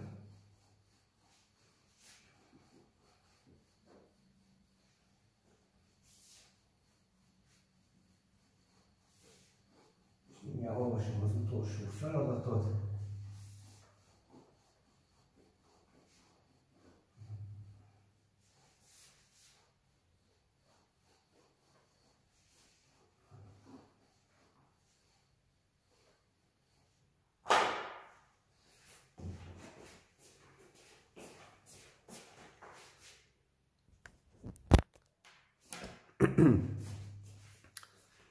Egy 20 cm hosszú, 1 négyzetcenti keresztmetszett üvegcsőben egy 5 cm hosszú üvegdugó úgy helyezkedik el, hogy 1 cm-re lóg ki az üvegből. Első ábra, itt van. 1 centivel kilógom, hogy 5 cm hosszú, az egész csőveg 20 cm. A dugó könnyen mozog, az üvegben lévő levegőt mégis jól elzárja a külvilágtól. A dugó, dugót kétféle módszerrel jutathatjuk teljes terjedelmével az üvegbe. Hűtéssel, kettes ábra, hát igen, vagy mindig a megfelelő nagyságú nyomóerőt kifejtve, lassú egyenletes mozgá, mozgatással. Hát ez azért kell a lassú egyenletes mozgatás, hogy közben ugye legyen idő a hőcserére, és akkor állandó legyen a hőmérséklete ennek a gáznak, végig annyi, mint a környezeté. Tehát amikor ilyet olvas valaki, hogy lassan változtatjuk a térfogatát, és nincs odaírva, hogy amúgy meg hőszigetelt lenne, vagy ilyesmi, akkor ez a lassú, egyenletes mozgatás, ez mindig azt jelenti, hogy akkor igen, a hőmérséklet állandó. Ez a hármas ábra, tehát látható, hogy amikor éppen benyomtuk a dugót teljesen, akkor ugye egy F kell kifejteni, és akkor gondolom ezt kell kiszámolni, ez az F majd. A szoba és az üvegben lévő levegő kezdeti hőmérséklet 15 fok a légnyomás 10 az 5 Pascal. Tehát ennél a hármas ábránál végig 15 fok lesz akkor a hőmérséklet. Itt viszont épp az, hogy lehűtjük. Viszont akkor nem kell erőt kifejteni pluszba. Jó, mekkora hőmérsékletet kell lehűteni a bezárt levegőt az első módszernél, mekkora a nyomóerő a hármasában látható helyzetben.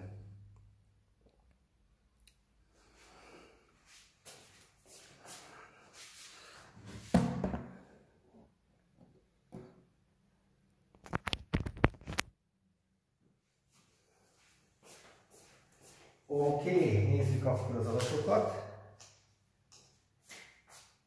20 centi hosszú ez a üvegcső, és egy négyzetcentiméter, hát most itt, hogy az előtt a nyomásokkal össze tudjam kötni, akkor kell a keresztmetszete a dugattyúnak, meg a csőnek. Jó esetben ugyanaz a kettő, és akkor nem szerel. Igen, 5 cm hosszú üvegdugó.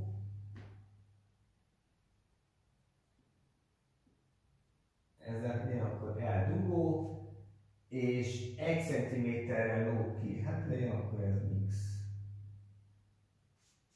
A dugó könnyen mozog, az üvegben lévő levegő is lezárja kétféle módszerrel, igen, és a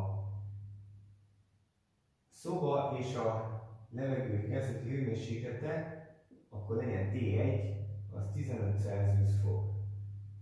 És a légnyomás, a P0, az 10 az 5 Az A esetben a T2 a kérdés, a B esetben meg az elő.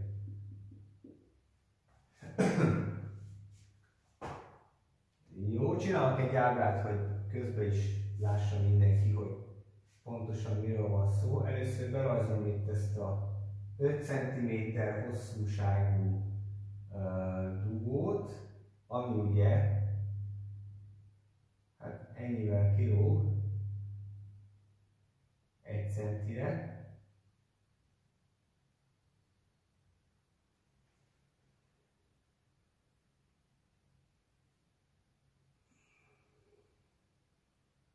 Hát most már írom, hogy 20 centi pedig felírtam a, az adatokat. Ez meg itt akkor 1 centi. Ez meg 5 centi.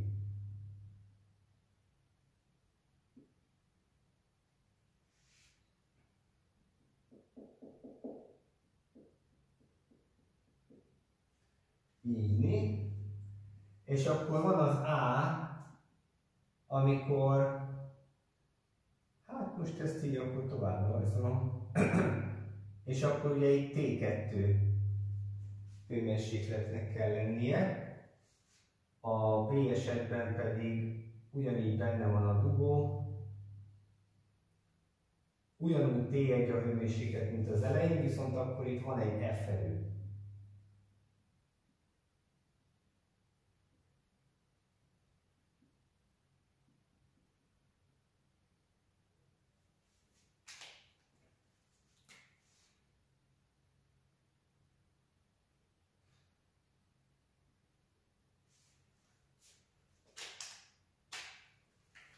Na, akkor a gáznak a mennyisége az mind a két esetben állandó. Ugye, mert nem szerelve van zárva. Az első esetben nem kell extra erőt kifejteni, ugye kívül is ugyanaz a P0 légnyomás van, mint uh, ugye itt akkor kezdetben, ugye ha ez könnyen mozog, ha nem mozdul el, tehát beállt a statikai egyensúly, akkor ugye belül ugyanolyan erőnek, tehát a keresztmetszet innen olyan, ugyanolyan, mint innen, tehát belül ugyanolyan nyomásnak kell lennie, mint kívül, ahhoz, hogy ugye ez a tugattyú egyensúlyban legyen. Tehát a kezdeti nyomás az mind a két esetben P0.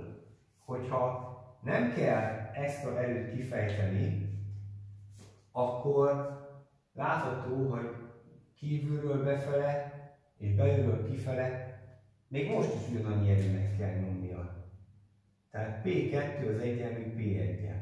Ez mit jelent? Akkor ez a hűtéses változat az a nyomásnak nem jár változásával, tehát ez egy izobár folyamat volt.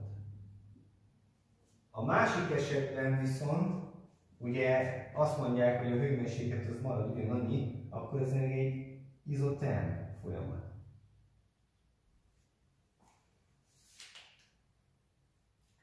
És akkor nézzük meg, hogy uh, mi érvényes az izobár folyamatra. Ugye a PV egyenlő NRT-be, akkor a, a P az állandó, meg az M meg az R, és akkor a V per T az lesz állandó. Tehát V1 per T1 az egyenlő V2 per T2. És akkor ezt írjuk tovább. A egyes térfogatnál a 20 centiből ugye le kell vonni a 4 centit, hát hogyha ezt most meg, meg kell szorozni az A-val, tehát hogyha most itt ezt külön le akarom írni, akkor itt ez a hossz, ugye L-ből levonom ezt, de hozzáadok egy x-et. Ugye, mert nem kell az egészet levonni, hanem csak ennyit.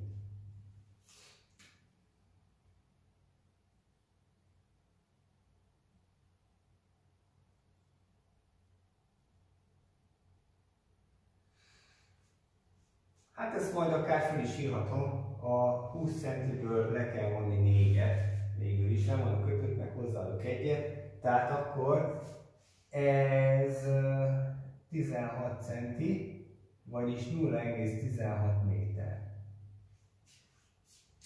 Itt viszont az egész 5 centit le kell vonni, tehát az L2 mindkét esetben 15 centi, tehát akkor L-LD, vagyis 15 centi, és az meg ugye 0,15 méter. Tehát mindjárt meg, hogy milyen arányban változik ugye a, a térfogat, 15 per 16 részére uh, csökken, de mindjárt meglátjuk, hogy ez pontosan miért van, mert ugye a V1-et meg a V2-t is fel tudjuk írni, hogy L1-szer A, meg L2-szer A. Tehát tegyük ezt akkor meg, uh, majd ezt meg akkor itt csinálom. L1-szer A per T1 egyenlő L2-szer A per T2. Jó? tört el, A-val egyszerűsített, és akkor a kérdés a T2, igen, akkor kifejezünk szépen a T2, a T2 az egyenlő T1-jel átszorozok a másik oldalra, és még L2 per L1-jel meg kell szorozni. Az L2 az 0,15, ez meg 0,16, hát akkor írunk egy 15-16-ot a T1 az meg ugye 15 Celsius fok, természetesen ezt a 15 Celsius fokot át kell váltani Kelvinbe, hogy azért jó legyen, 15 hiába szorozgatnám. 273-ot hozzáadok, vagy inkább a 273-hoz a 15-öt, tehát 283, 288. Oké, okay. 288 Kelvin, szorozva ezzel a 15-16-oddal. És akkor 15-16 részére kell elüteni. Uh, na most, hogy ez hol van, próbálom megkeresni, mi az eredmény. Ó, oh, milyen már. 270 kell. Ez azt jelenti, hogy mínusz 3 Celsius fok. Hát az elég jól le kell üteni. A kezdeti 15-ről mínusz 13 fokra. Jó, a B résznél pedig látható, hogy ez egy izoterm állapotváltozás, ezért igaz lesz, hogy ugye PV egyenlő NRT, N is konstans, R is, meg T is konstans, tehát P1, V1 egyenlő P2, V2. És akkor ebből egyelőre a kettes nyomást tudjuk kiszámolni, a P2. P2 az ugye P1-szer V1 per V2. Ha most itt ezt gondolatban úgy írom, hogy L1-szer áll meg L2-szer akkor természetesen L1 per L2-t kell írni.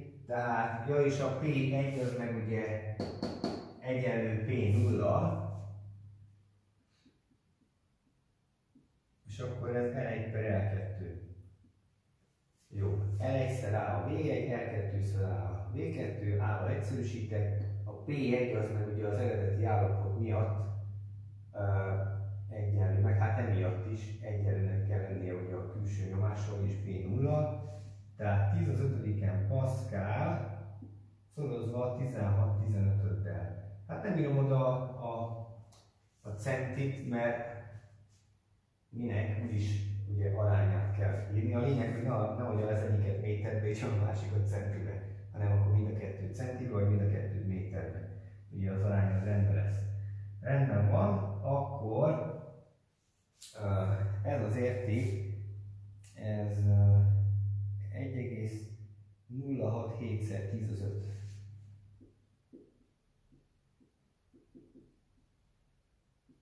Pascal. Jó, ez még nem a végeredmény, mert ugye az erőt kéne kiszámolni. Az erőt úgy tudjuk megkapni, hogy megnézzük, hogy milyen erők hatnak erre a testre, erre a dugóra. dugóra. Befelé ugye nyomja még a P szor A, meg az erő, kifelé pedig a P2-ször A.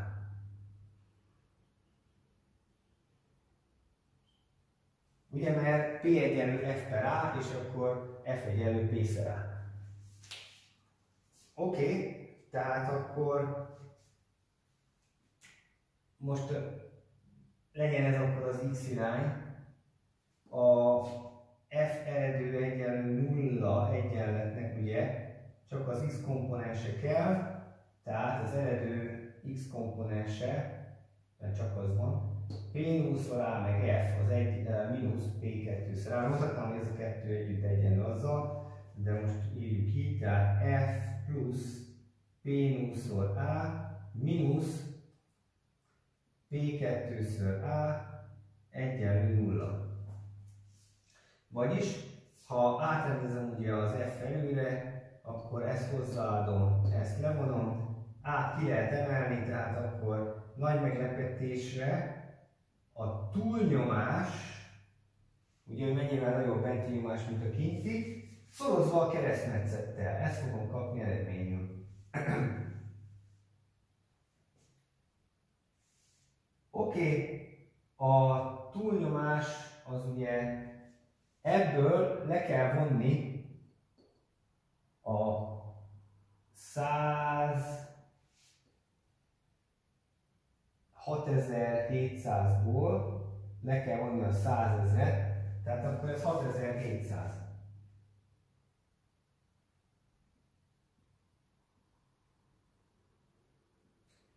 És itt nagyon fontos, hogy a Pascal az ugye Newton per négyzetméter, tehát ezt az egy négyzetcentit nem szabad odaírnom utána, hogy azzal megszorozzam, mert akkor teljesen összeredményt kapok, hanem ezt át kell váltani négyzetméterre. Na most tudjuk, hogy egy centi az egy század méter, tehát 10 a mínusz másodikon, de mivel négyzetre van emelve, ezért ezt négyzetre kell emelni, tehát nem 10 a mínusz másodikon, hanem annak a négyzete, vagyis 10 a mínusz negyediken négyzetméter. És akkor ezzel a 10 a mínusz negyedikennel meg kell szépen szorozni ezt a 6700 uh, paszkált. És akkor a per négyzetméter meg a szor négyzetméter az üti egymást. Ugye ez egy 10 ezred, ez meg egy 6700, akkor az 0,67 Newton lesz.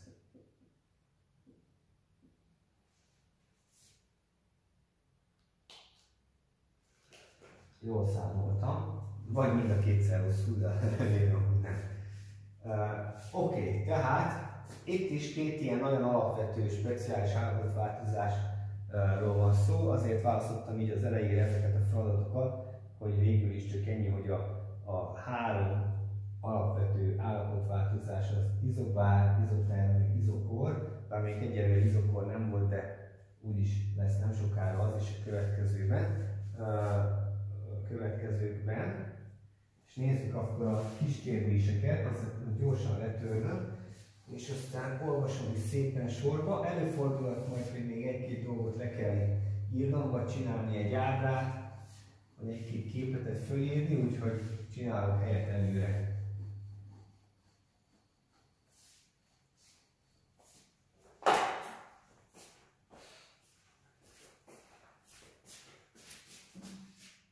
Ú, jól elment az idő. Ja, nem váltottam át a következő feladatra, vagyis a kis kérdésre.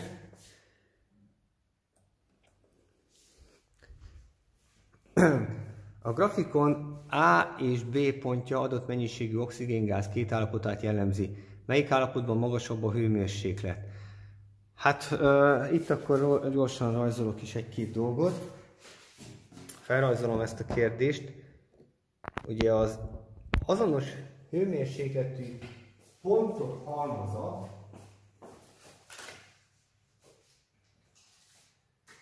van nekünk akkor ez az állapot egyenlet, itt a PV diagram van. És egy A meg egy B állapotot rajzolnak.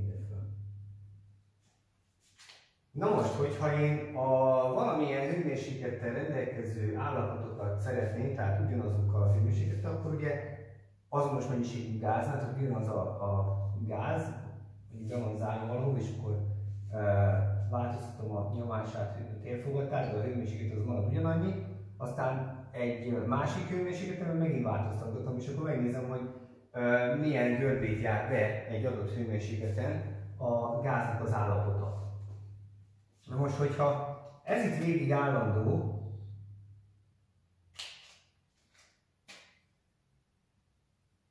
mondjuk egy nagy C konstans, akkor ha ki akarom fejezni, hogy a nyomás milyen függvénye a térfogatnak, akkor csak át kell osztanom a konstans alá egy V-vel. És azt kapom, hogy P egyenlő konstans per V. Hát ez milyen? Ez egy hiperbola. Ugye? 1 per x, csak C-vel meg van szorozva. Hát most az x az a V. Az y az meg a P. Úgyhogy egy hiperbolát kell rajzolnom ezen keresztül is, meg ezen keresztül is. Ezek az azonos hőmérsékletű pontok. TA, TB.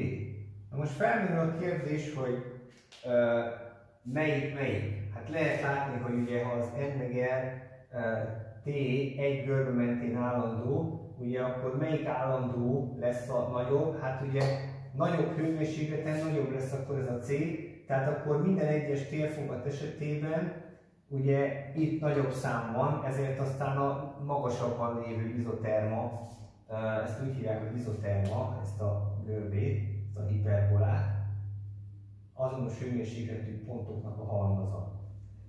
Tehát természetesen ez a TV, ez nagyobb lesz, mint a TA. Hát most lehet, hogy sok időt töltöttem ennek a egyszerű kérdésnek a megválaszolásával, de ezt mindenképpen akartam mondani, hogy a PV diagramon ezeket a függvényeket hogy lehet. A másik kettő az egyszerű, mert ha állandó a nyomás, akkor természetesen állandó nyomás az egy állandó magasságú vonal mentén kell akkor nézni, állandó a térfogat, akkor meg egy függőleges vonalat kell rajzolni. És akkor van még ez, meg majd lesz mind az adiabatikus. Oké, okay, nézzük a következő.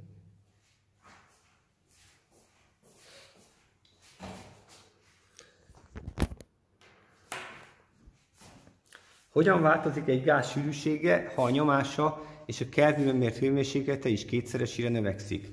Na, hát még ilyen jó, hogy ezt felrajzoltam ide, vagy felírtam. PV egyenlő NRT. Ez azt jelenti, mit mondtak, hogy a nyomása és a Kelvin hőmérséklete is kétszeresére növekszik. A bal oldalon a nyomást növelem kétszeresére, a jobb oldalon pedig a hőmérsékletet. Na most akkor kell a térfogatnak változni, mert ugye egy adott mennyiségű gáznak a tömege nem fog változni. Ugye, hogyha a bal oldalon is kétszeresére növelem az a P-t, a jobb oldalon meg a T-t növelem kétszeresére, akkor a V az maradhat szépen ugyanannyi, mint amennyi volt, mert ugye a P meg a T az a két oldalon az elintézi a dolgot. Tehát ugyanannyi maradt a tömeg, és ugyanannyi maradt a térfogat. Hát akkor a sűrűség, mint M per V, ugye rho egyenlő M per V, tehát hogy egységű térfogatra mennyi tömeg jut, akkor az nem fog változni, mert nem változott a térfogat. Tehát nem változik, mert pont úgy növelem az egyiket, hogy úgy változzon a másik, hogy a térfogat ne változzon. úgyhogy marad a térfogat, meg a sűrűség. Egy függőleges, három el magasságú szájával lefelé fordított hengerben M tömegű dugattyú ismeretlen gázt zár el. Itt látható. Ugye valamilyen eltávolságban van a tetejétől a dugattyú, annak is van egy M tömege, meg aztán meg ráakasztanak még egy M tömege. A dugattyú távolsága a henger zárt tetejétől L. A bezárt gáz nyomása a légköri nyomás fele. A dugattyúra szintén M tömegű súlyt akasztunk, és óvatosan elengedjük, hol állapodik meg a dugattyú. Henger tetejétől kevesebb, mint két eltávolságra, két eltávolságra, több, mint két eltávolságra, sehol nem állapodik meg. Na, nézzük csak. Uh, ugye azt mondják, hogy az eredetinek kétszeresét akasztjuk rá. Tehát akkor az M helyett már kétem van. Ez azt jelenti, hogy a dugattyút kétszer akkora erő fogja húzni lefele. Na most, magának az M tömegnek, amikor csak a dugattyú volt a megtartásához, mekkora nyomáskülönbségre van szükség? A bezárt gáz nyomása a légköri nyomás fele. Tehát az M tömegű dugattyú megtartásához már a légköri nyomás fele kell, mint nyomáskülönbség, ugye a P0 annyival nagyobb kell, hogy legyen a benti P nyomástól, hogy a A-val megszorozva ugye pont kiadja azt az M G erőt a nyomáskülönbség. Na most kérdés az, hogy ha megduplázzuk ezt a súlyt, amit meg kell tartani, ugye a keresztmetet az megmarad, viszont kétszer annyi súlyt kell megtartani, ezért aztán a nyomáskülönbségnek is kétszeresére kéne nőni, de a P0 per 2, ha kétszeresére nő, akkor az már ugye maga a P0. Tehát akkor a benti nyomás meg a légköri nyomás között P0 nyomás különbségnek kéne lennie. Ez az, amikor ugye a tapadókorongnak az a totál ideális maximumát kerestük. Na de a tapadókoronnál el tudtuk azt érni, hogy kipréseltünk minden levegőt, és akkor ugye totál vákum legyen belül. Itt viszont ugye valamennyi gázzal indultunk, Na most hogyan tudom valamennyi gáznak a nyomását lecsökkenteni tágulással nullára? Ugye nem mondhatom, hogy lefogyasztom teljesen, úgyhogy megszilárduljon, az kivágjuk át. Tehát hogyan tudom lecsökkenteni nullára azonos hőmérsékletet? Tehát úgy, hogyha a térfogatát korlátlanul növeljük. Ezért aztán nem tud megállapodni a dugattyú, mert ugye egészen addig, amíg nem csökken a benti nyomás nullára, addig a dugattyú az esni fog lefele, és akkor kiesik a hengerből, ha csak nem egy végtelen hengerünk van. Jó? Tehát ez a utolsó kiesik a hengerből. Nézzük a negyediket. Ez még a múltkorról van, van egy feladat, csak a múltkor elfelejtettem beletenni, és ezért nézzük most. Hogyan érvényesül a Föld és a Hold gravitációs hatása a Hold közepén? Holdat tekintsük homogén tömegeloszlású gömbnek. Na most a múltkor viszont annyit mondtam, hogy egy égítés belsejében hogyha elkezdek befele menni, a gömbszimetria miatt uh, teljesül az, hogy a már fölöttem lévő gömbhéjak gravitációs hatása pont kiejtik egymást, és csak az alattam lévő gömbhéjak fogná, fognak vonzást gyakorolni. És az alattam lévő gömbhéjaknak a hatása továbbra is olyan, mint hogyha ennek a még alattam lévő tömeg, tömeg nek az összessége a középpontban lenne csoportosulva. Hát ez a gömbszimetria miatt így jön ki. Na most, hogyha viszont bemegyek a holdnak teljesen a közepébe, akkor természetesen ott a hold gravitációs hatása az pont nulla, kiejti egymást ugye a különböző irányokba ható tömeg a gömbszimetria miatt. Viszont a Föld gravitációs hatása, hát ha nem lenne ott a gravitációs hatása a Földnek, akkor a holdat mi tartaná ugye a Föld körül pályán, ezért aztán természetesen a Földnek a gravitációs hatása érvényesül a közepén is, meg mindenütt. Nem lehet leárnyékolni a gravitációs hatást egy másik tömeggel természetesen, ezért aztán az A a helyes. Hát a többinél ugye, hogy a, mert a hold olyan messze van a Földtől, hogy ott már csak a hold gravitáció érvényesül, tehát ezt mondtam, ugye ez így nevetséges. A hold tömege leárnyékolja, az meg aztán főleg nevetséges, és a hold közepén a föld és hold gravitációs hatás egyre nullától eltérő, az meg a gömbszimetriája miatt a holdnak nem lehetséges, mert ugye pont kiejtik egymást a különböző irányok. Tehát az A a helyes.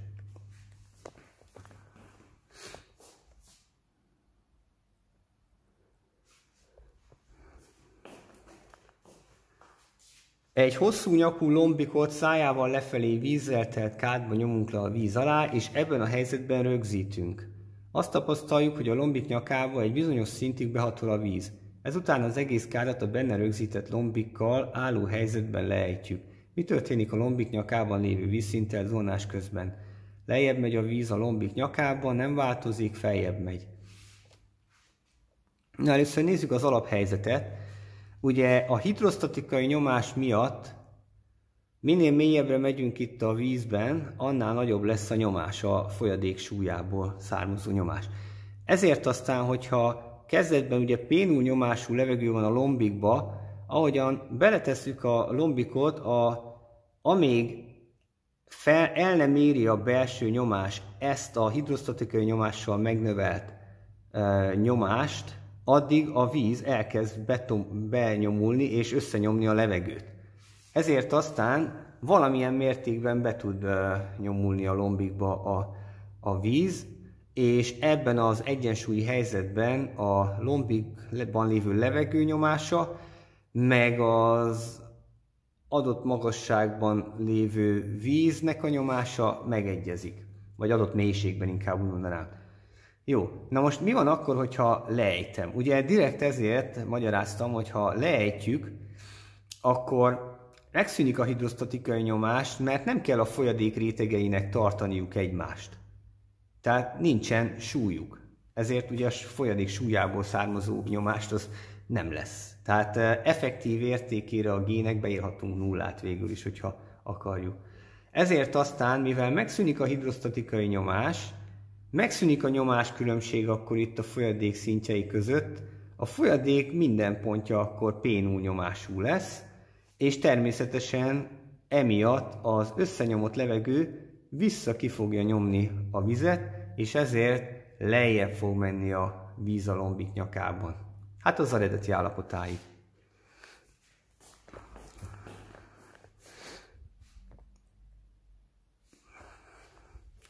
Hú, hát azt itt meg megint írnom kell lesz. Az ábrán látható körkeresztmetszetű összeszűkülő, majd ismét egy kicsit kitáguló csőben a víz állandósult örvénymentes áramlását figyelhetjük meg. Mit állíthatunk a csőben az ABC pontokban mérhető PA, PB és PC nyomásról? Na, először mielőtt megválaszolnám, a folyadék áramlására vonatkozó két törvényt fölírom, azzal a két törvényel bármilyen ilyen típusú számításos feladatot is meg lehet oldani. Ez a Bernoulli törvény, meg a kontinu- Bernoulli egyenlet, meg a kontinuitási egyenlet.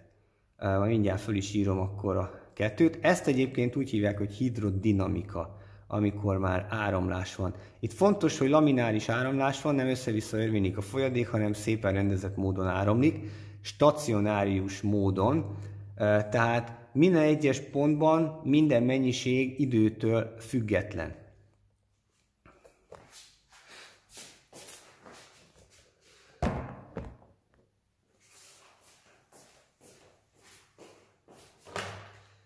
No, most egy kicsit általánosabbra rajzolom, legyen egy olyan uh, cső, amelynek ugye itt van mondjuk az I keresztmetszete, itt akkor V1 sebességgel áramlik ez a rósűségű folyadék. Hát azért vegyünk folyadékot, hogy ne legyen összenyomható, és akkor is sokkal egyszerűbb, hogyha nem összenyomható, hanem mert gáz is áramolhat, de legyen folyadék, hogy a sűrűség az mindenütt ugyanannyi legyen. És akkor itt meg van egy A2, meg V2.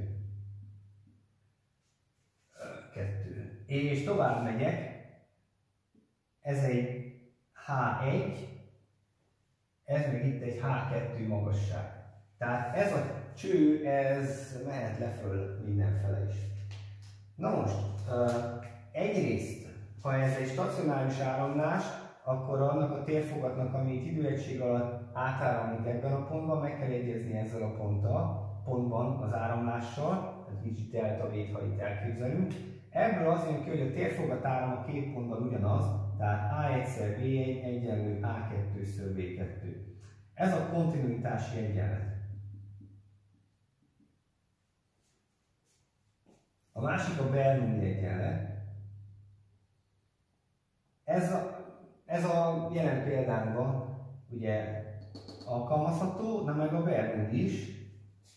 A lényeg azt mondja ki, hogy a nyomás, meg az 1 2 Drusszol V négyzet, meg a Russzol Gészer H összeg, ez ugyanannyi az egyes pontban, mint a kettes pontban. Tehát végül is állandó a áramlás mentén.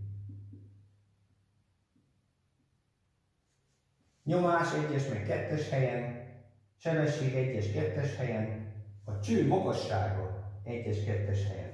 Ugye nem mindegy, hogy a víznek felfele kell áramolnia, vagy lefele kell áramolnia, ennek megfelelően ugye változni fog a sebessége.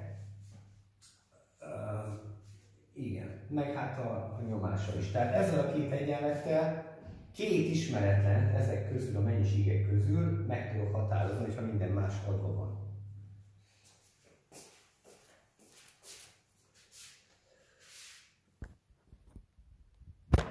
Na és akkor ezzel fölvértezve, tehát a kontinuitási egyenlettel, ami végül is az A szor V állandósága, tehát a térfogatáram, tehát hogy hány köbméter per szekundum áramlik át. Egyébként, ha egy róval megszorozzuk, akkor az meg tömegáram lesz, tehát hogy hány kilogramm áramlik át másodpercenként. A Bernoulli egyenlet pedig az, hogy a P plusz egy ketedró V nézet meg rószolgészer H az áramlás mentén konstans. Tehát ezt úgy szokták alkalmazni, hogy vesznek két pontot, egyes, kettes pontot, és akkor ott felírják a két egyenletet. Na most, ha itt nézzük, ugye itt úgy látszik, hogy a magasság az megegyezik. Viszont a keresztmetszet nem. Ugye az A szor V állandó, tehát ahol a legnagyobb az A, ott lesz legkisebb az, az áramlási sebesség, ezért aztán a B-ben a leggyorsabb, a C-ben a második leggyorsabb, A-ban pedig a leglassabb lesz az áramlás. Na most, ha megnézzük a Bernoulli egyenletet, ugye akkor a, mivel a H1 egyenlő H2-vel azt a tagot azt egyszerűsítsük le, hagyjuk a francba, tehát marad a P meg az 1 2 rószor V négyzet. Itt azt látjuk akkor, hogy ha nagyobb a V négyzet az egyik oldalon, akkor, hogy az egyenlőség teljesüljön, akkor ott a P-nek viszont kisebbnek kell lennie. Tehát gyorsabban áramló folyadékban kisebb lesz a nyomás, ezért a B-ben lesz a legkisebb a nyomás, aztán a C-ben és az A-ban lesz a legnagyobb. B-ben a legkisebb, aztán a C-ben és az A-ban, tehát a C a helyes. Tehát PB a legkisebb, aztán a C, aztán pedig az A, mert ugye ahol a legkeskenyebb, ott kell leggyorsabban áramolnia a folyadéknak. Viszont akkor ott a legkisebb a nyomás. Jó. Nézzük meg még gyorsan a maradék, szerintem még vagy kettő van, aztán ennyi. Vagy lehet, hogy nem. Hui. Egy uszály köveket szállít. A kövek egy része beleesik a tóba, és lesüllyed a tó fenekére. Hogyan változott a tó vízszintje? Na, ez egy beugratós kérdés. Vegyük külön-külön, hogy mikor mennyi vizet szorít ki ez a kő. Ha simán beleesik a kő a vízbe, akkor annyi vizet szorít ki, mint amennyi az ő térfogata. Viszont amikor az uszály tartja a követ, a víz meg tartja az uszályt ugye a felhajtó erővel, e, ezért aztán, hogy a felhajtó erő megegyezzen a kőnek a súlyával, a saját súlyának megfelelő e, térfogatú vizet ki kell szorítania. Na, mivel most a kőnek ugye nagyobb a sűrűsége, mint a víznek, ezért a kiszorított víznek nagyobbnak kell lennie a térfogatának, mint a kőnek magának a térfogata, ahhoz, hogy ugye megtartja. Hát önmagában ugye ezt nem tudja megtenni, de úgy, hogy közben az uszájon keresztül nyomja a vizet, így ugye lehetséges az, hogy a kő súlyának megfelelő víz ki legyen, ki legyen szorítva a tóból. Tehát amikor az uszájon keresztül ugye a víz felhajtó ereje megtartja a követ, akkor több vizet kell kiszorítania, ezért, hogyha leesik és beleesik a víz aljára, akkor ott már kevesebb vizet szorít ki, tehát a vízszint csökkenni fog, nem pedig nőni, hiába beleesik a kő. Ez egy beugratós érdekes feladat. Jó, nézhetjük egyből itt a következőt. Egy levegőben 5 Newton súlyú fagömböt teljesen a víz alá nyomunk, és egy fonállal az edény aljához kötjük, az ábrán látható helyzetben majd elengedjük. Ekkor a fonalat F egyenlő 20 Newton erő feszíti. Körülbelül mekkora a gömb térfogata. Vízsűrűsége 1 kg per köbdeci. Na most, nézzük csak meg, hogy milyen erők hatnak erre a gömbre. Ugye hat a saját súlya, az 5 Newton lefele. Meg még egy fonális hat lefele, ami 20 Newton. Tehát 25 Newton lefele.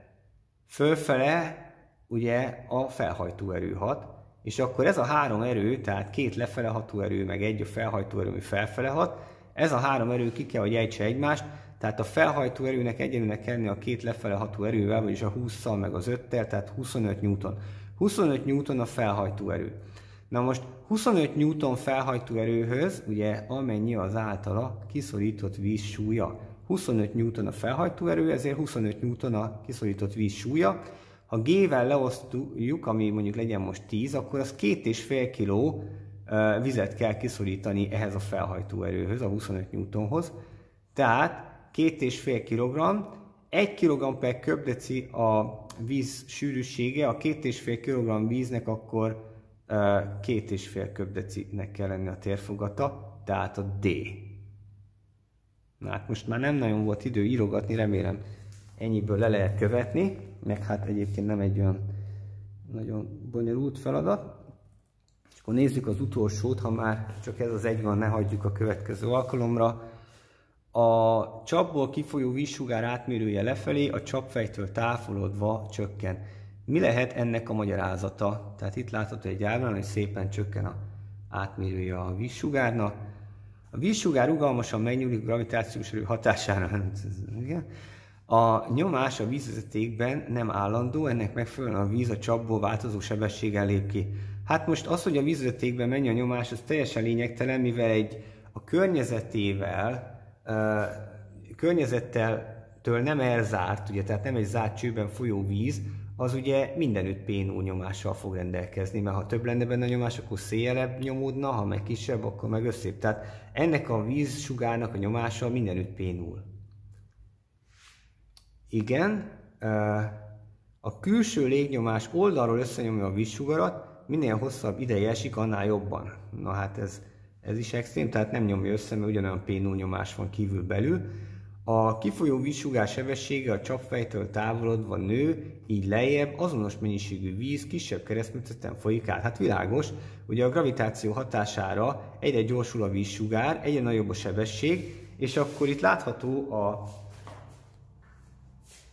Ugye a Bernoulli miatt fog nőni a sebesség, ugye a H, ahogy egyre megy lefele, egyre változik a H, ezért egyre nő a sebesség, és a növekvő seb, tehát ezt pontosan ki is lehet számolni, nem csak így mondogatni a dolgokat, hogy, hogy milyen, milyen függvény szerint fog a H, H változásával összezsugorodni a vízsugár, és hogyha gyorsabban megy, akkor viszont kisebb a keresztmetszete. Tehát szépen, lass, szépen, ahogy halad lefele, egyre gyorsul, és ezért egyre húzódik össze. Jó. Na, ez volt az utolsó feladat. Akkor jövő héten Folytatjuk a termodinamikával, továbbra is gázok lesznek, minden jót!